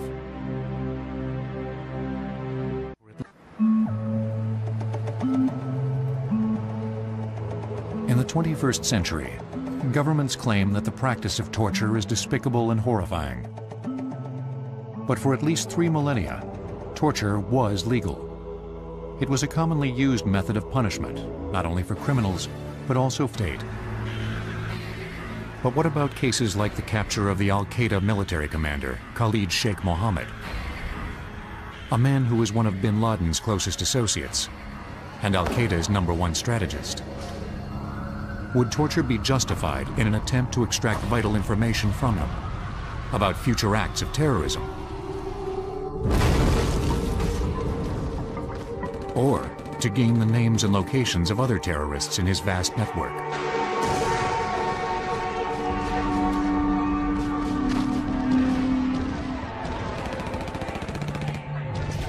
For anyone that thinks that torture is actually an effective device to get quality information, that's certainly never been proven by, uh, by any experience in humankind for centuries. Torture gets people to say anything to make the pain go away. Experts tell us that the same is true when it comes to extracting confessions to a crime. Confessions extracted under torture are notoriously bad. Um, I, I, you know, I can get, I can get anyone to confess to anything. If you give me enough time, I, I, bet you I can get you to confess to anything I want you to confess to. It's, it's just a matter of time because people have a breaking point. In fact, in early 2003, in the state of Illinois, Governor George Ryan commuted the sentences of prison inmates whose convictions were largely based on confessions extracted as a result of torture. Torture that included electronic shocking devices. These electronic immobilization devices, or EIDs, were originally developed in the 1970s. They were designed to be used as non-lethal restraint devices for police forces and prison guards who were dealing with dangerous criminals. They are still lawful for this purpose, but over the last 30 years, they have risen to prominence as illegal torture devices for a number of governments, military organizations, and police agencies who are trying to hide their torture activities. What a lot of the electric shock um, technology does now is it doesn't leave permanent marks. And so it enables torturers to engage in or to inflict the same kind of intense pain to accomplish their objectives so they can deny that they engaged in torture. Among the convenient electronic tools designed for one purpose, but turned into a device for mistreating humans, was the cattle prod, which first appeared in the stockyards of Buenos Aires in the early 1930s. That was nothing more than a billy club device that was a, state to, uh, to act as torturers. Over the past decade, the United Nations has openly denounced the use of any torture for any reason by any nation state. But what about cases like the capture of the Al Qaeda military commander, Khalid Sheikh Mohammed? A man who was one of bin Laden's closest associates and Al Qaeda's number one strategist. Would torture be justified in an attempt to extract vital information from him about future acts of terrorism? Or to gain the names and locations of other terrorists in his vast network?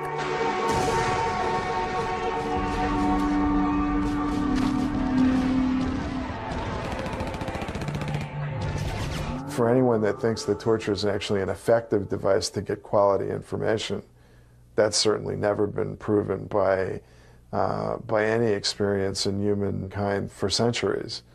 Torture gets people to say anything to make the pain go away. Experts tell us that the same is true when it comes to extracting confessions to a crime. Confessions extracted under torture are notoriously bad.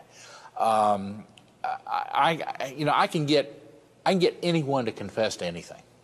If you give me enough time, I, I, bet you I can get you to confess to anything I want you to confess to. It's, it's just a matter of time because people have a breaking point.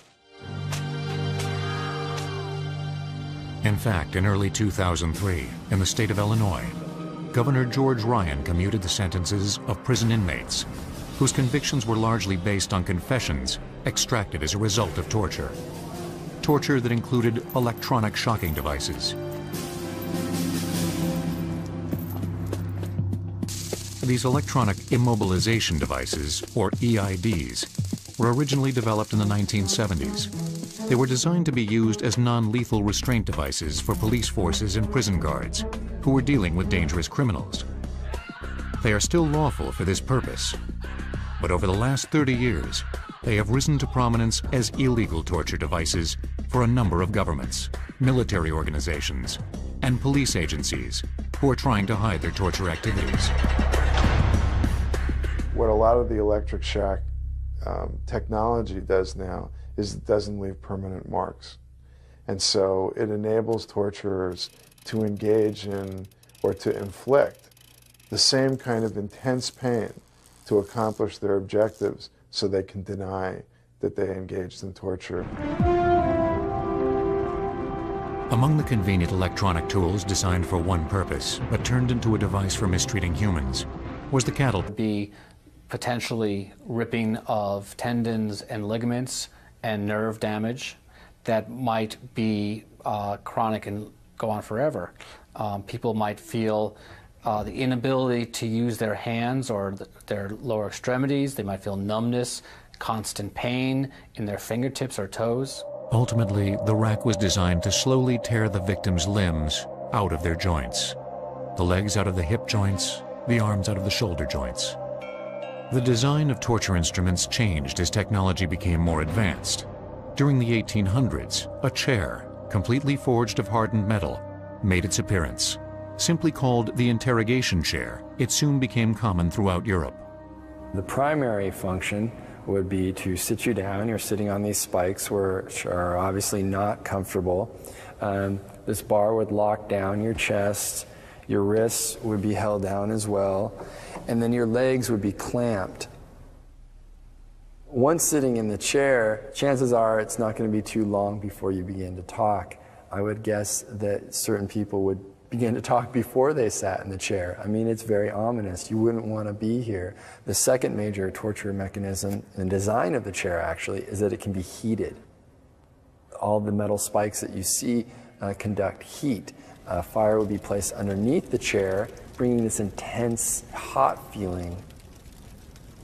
Thumb screws and finger screws were another highly engineered torture device. Machine tooled to mechanical precision, they worked like a pair of nutcrackers. The way it would be used would be to uh, place the fingers or knuckles inside the two bars, slowly increasing pressure until the proper amount of pain was necessary to get the information that you might want from the victim the thumb is the most important finger you have. So to actually crush the thumb makes you almost useless as a manual laborer. So it's got tremendous value in that way. It's also a very sensitive part of your body. The nerves are highly dense in the fingers, so that crushing nerves in the fingers causes significant pain. A few torture devices seem to go beyond ordinary tools of pain and suffering. Perhaps the most dreadful instrument of such debauchery was the pear. What's amazing about this piece in particular is the amount of work that went into it. It's made of bronze, it's cast, and it took a bit of ingenuity and technology, especially for the time period. Like many torture instruments, they're multifunctional.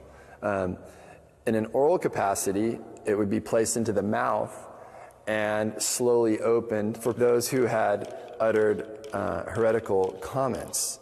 Now, uh, psychological abuse topped the list. And there is an ever increasing array of ordinary objects that are not technology driven, but that are used as instruments of torture simply because they are available. Among the most disturbing may be sexual torture. Vaginal penetration, sodomization. Uh, men and women are, are subjected to rape as a form of torture. A famous example of that is the Coke bottle. Coca-Cola bottles were used in Latin America to be inserted in victims' anuses. Why? Because when the person was let go from the prison, the Coca-Cola bottle is ubiquitous. They could not go anywhere without seeing it, and therefore being reminded of their torture. The most accessible contemporary torture devices are fists, feet, whips, and canes. It may be for this reason that beatings are among the most common form of torture in the world today. especially where there is religious persecution, in countries like Egypt, Pakistan, the Sudan, and China.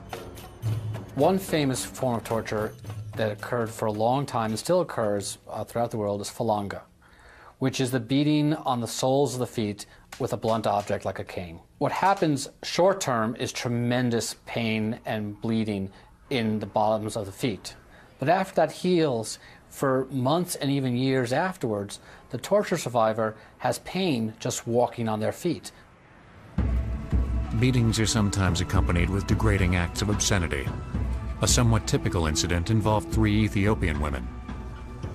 First of all, they were stripped of their clothing. They were hung upside down by a pole, just an ordinary pole.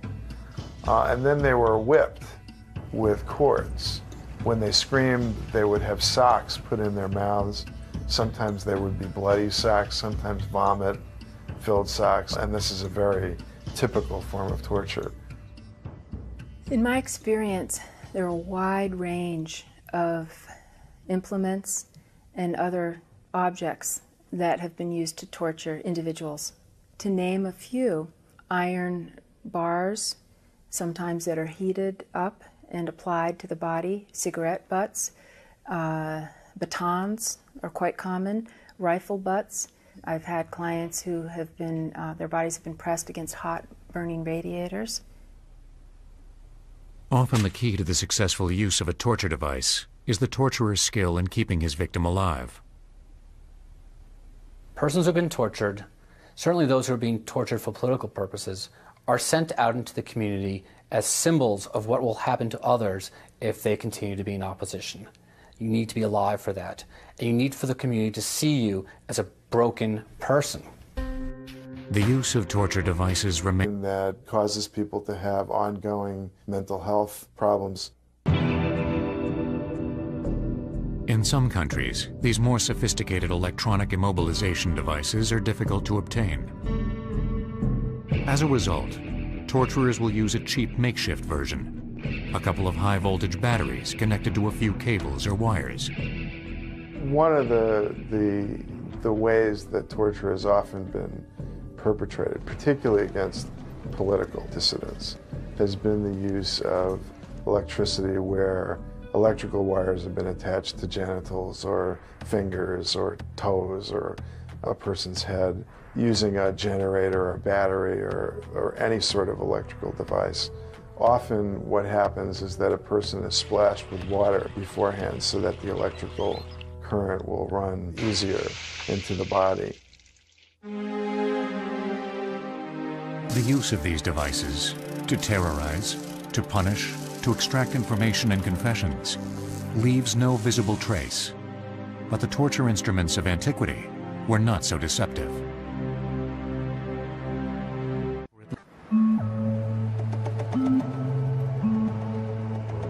In the 21st century, governments claim that the practice of torture is despicable and horrifying. But for at least three millennia, torture was legal. It was a commonly used method of punishment, not only for criminals, but also for innocent slaves and foreigners. Over 3,000 years ago, the Chinese Book of Wisdom known as the I Ching spoke of a punishment called the Shi Ho in this way. Shin Ho, biting through. His neck is locked in the wooden Kong. His ears are gone. Great misfortune. This punishment required a device called the Kong. It was used for minor criminal offenses well into the 20th century. The Kong was a very large, heavy, thick wooden board with a hole cut in the middle the size of the victim's neck. This bulky device was worn for as long as 20 or 30 days. It was never allowed off the victim's neck. Because of the board's size, it was impossible for the victim to feed himself, making him dependent upon the kindness of others for food and drink. If he had no friends, he could die from starvation. In 1300 BC in the Mediterranean world, the Egyptian pharaoh Ramses II is said to have tortured Hittite prisoners by flogging them with whips made of ox leather, weighted with bone splitters or metal hooks and spikes. His purpose was to extract information about their battle plan against Egypt.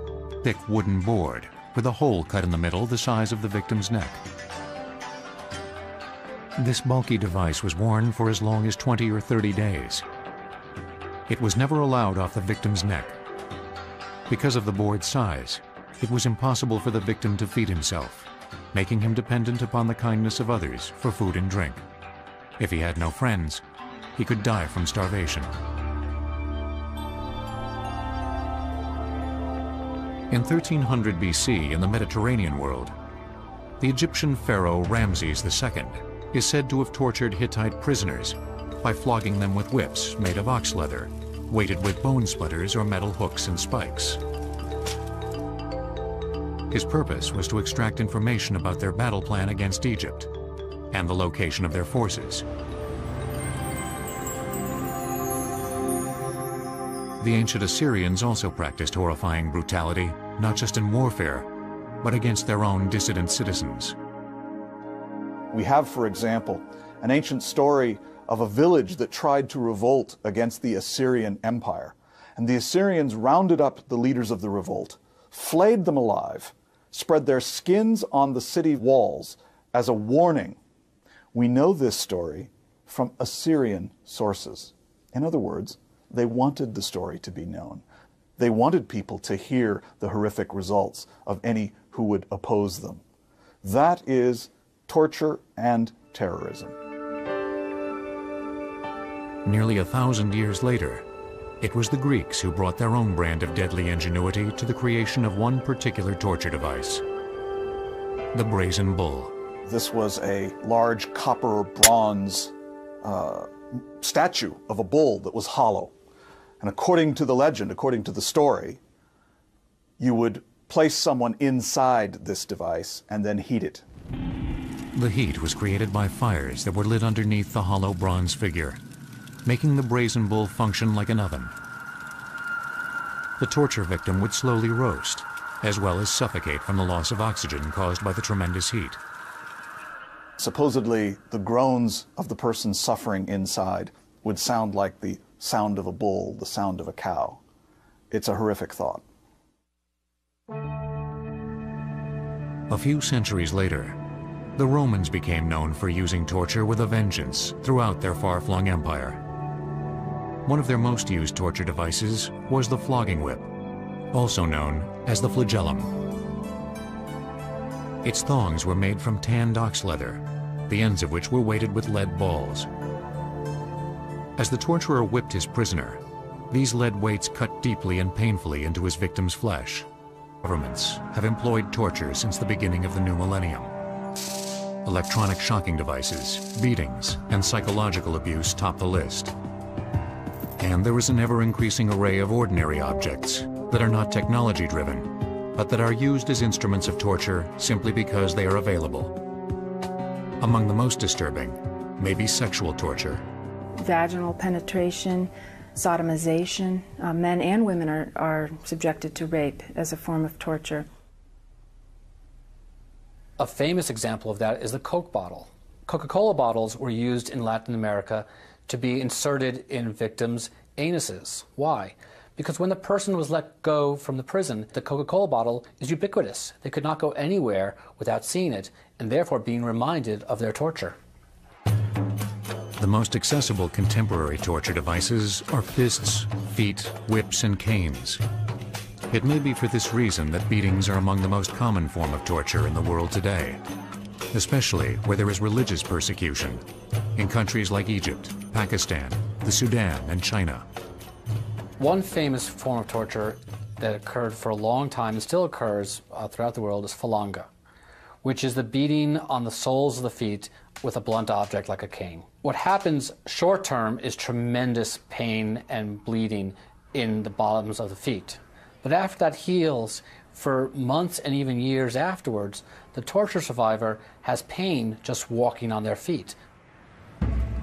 Beatings are sometimes accompanied with degrading acts of obscenity. A somewhat typical incident involved three Ethiopian women. First of all, they were stripped of their clothing they were hung upside down by a pole, just an ordinary pole. Uh, and then they were whipped with cords. When they screamed, they would have socks put in their mouths. Sometimes they would be bloody socks, sometimes vomit filled socks, and this is a very typical form of torture. In my experience, there are a wide range of implements and other objects that have been used to torture individuals. To name a few, iron bars, sometimes that are heated up and applied to the body, cigarette butts, uh, batons are quite common, rifle butts. I've had clients who have been, uh, their bodies have been pressed against hot burning radiators. Often the key to the successful use of a torture device is the torturer's skill in keeping his victim alive. Persons who have been tortured, certainly those who are being tortured for political purposes, are sent out into the community as symbols of what will happen to others if they continue to be in opposition. You need to be alive for that. The person who's asphyxiated loses consciousness. They may lose consciousness and come back to, and the torture continues. There may be a cycle of asphyxiation, losing consciousness, and coming back for more torture. They also have the possibility of being asphyxiated so badly that they die. The long term consequences of asphyxiation would most likely include brain damage. In 1984, four years after the discovery of the horror of Pol Pot's secret prison, the United Nations General Assembly passed the UN Convention Against Torture. Even so, today the worldwide use of torture and torture devices continues to spin dangerously out of control. Experts tell us that torture and the use of torture devices is currently a worldwide epidemic. According to Amnesty International, 75% of the world's governments have employed torture since the beginning of the new millennium.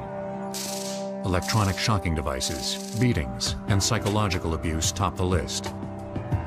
And there is an ever-increasing array of ordinary objects that are not technology-driven, but that are used as instruments of torture simply because they are available.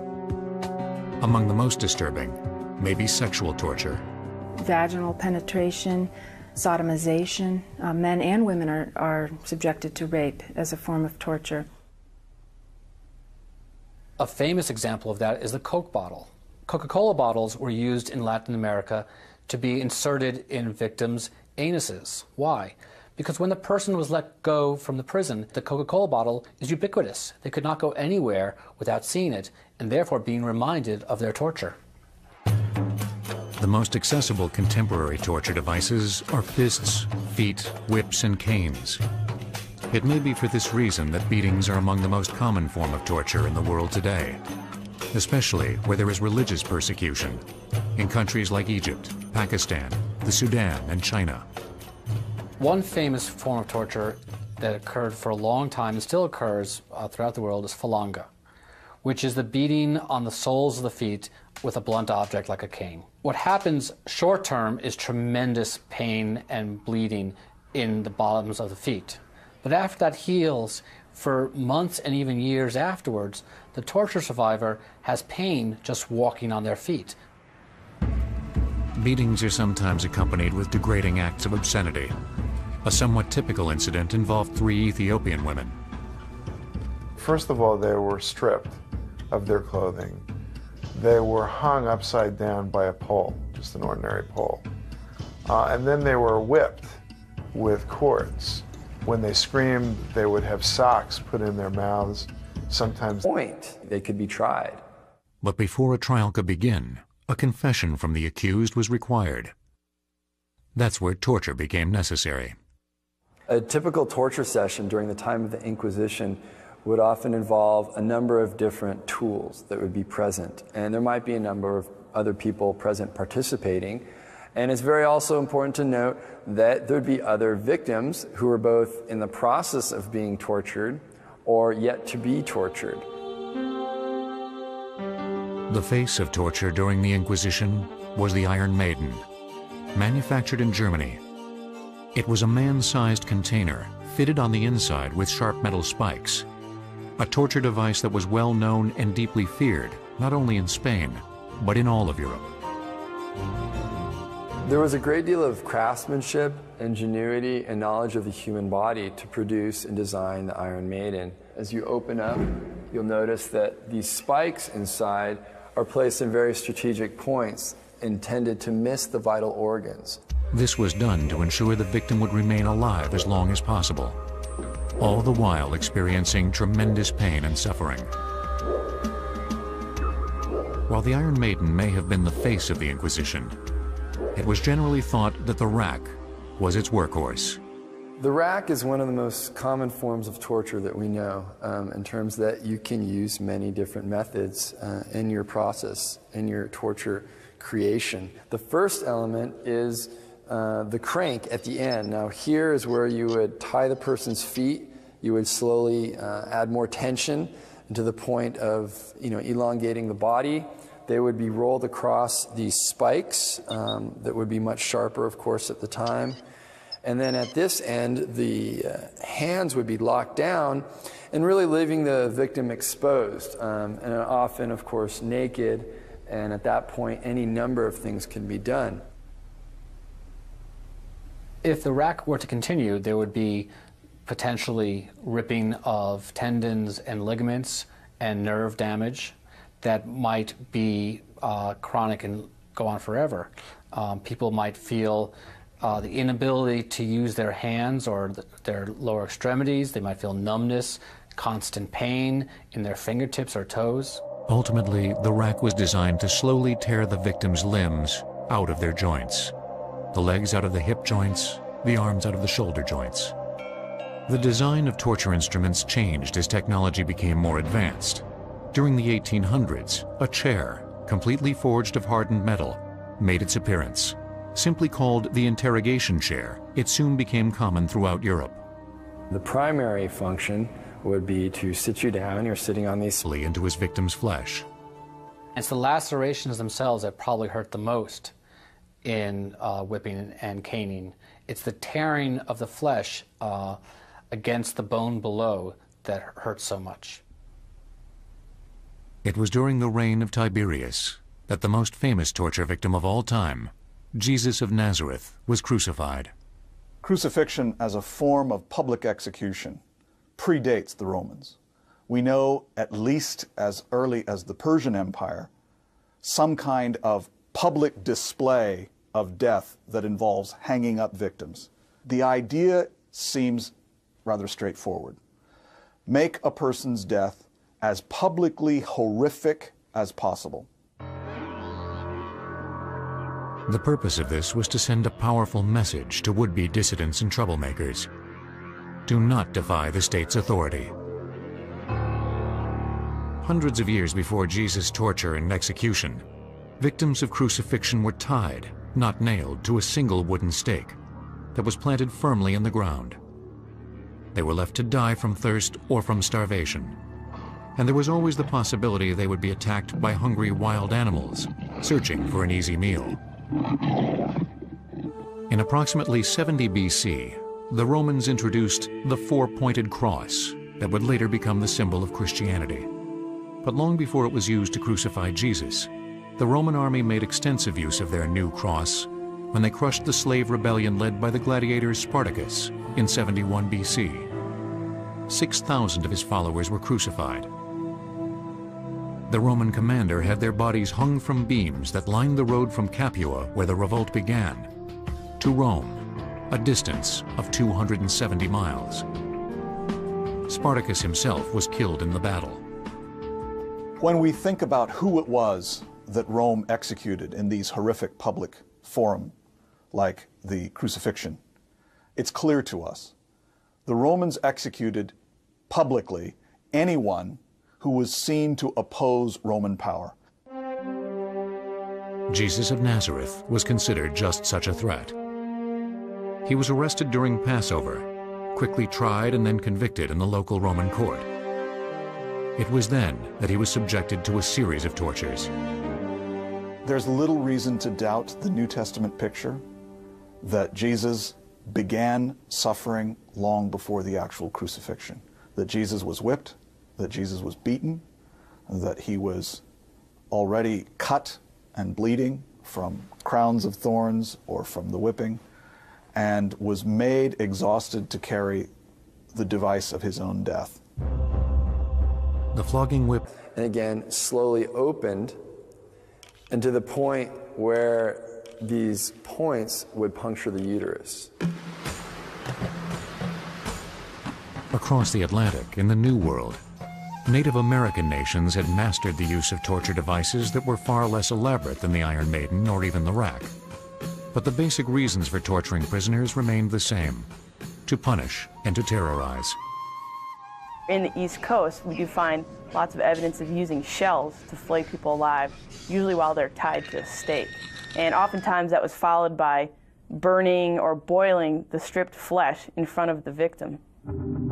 Among the Algonquin, it was the men who would capture the victims and tie them up. But it was often left to the women to perform the actual torture. Some of the burning was akin to what was happening in Europe in terms of burning at the stake. Uh, having a low heat fire slowly smolder under the victim's feet. Other times, the torturers would insert pieces of wood into various parts of the body and set them on fire. There's accounts of people placing them under the fingernails, in the mouth, in the ears, in the nose, anywhere where you could have a non fatal burn, so to prolong the agony of the victim. Very often, the length of the torture itself was determined by the victim's behavior. There was honor for those who stoically accepted the pain. It's the people who cried out, who ex expressed some sort of fear. They could expect a much longer torture session before ultimately being killed, but usually death was the ultimate result. By the mid 19th century, in Europe, Great Britain, and the United States, there was a groundswell of popular sentiment against torture. In 1864, the Geneva Convention was drafted. It was an international agreement that, among other things, prohibited the use of torture. But rather than bringing the practice to an end, it would slowly drive it underground.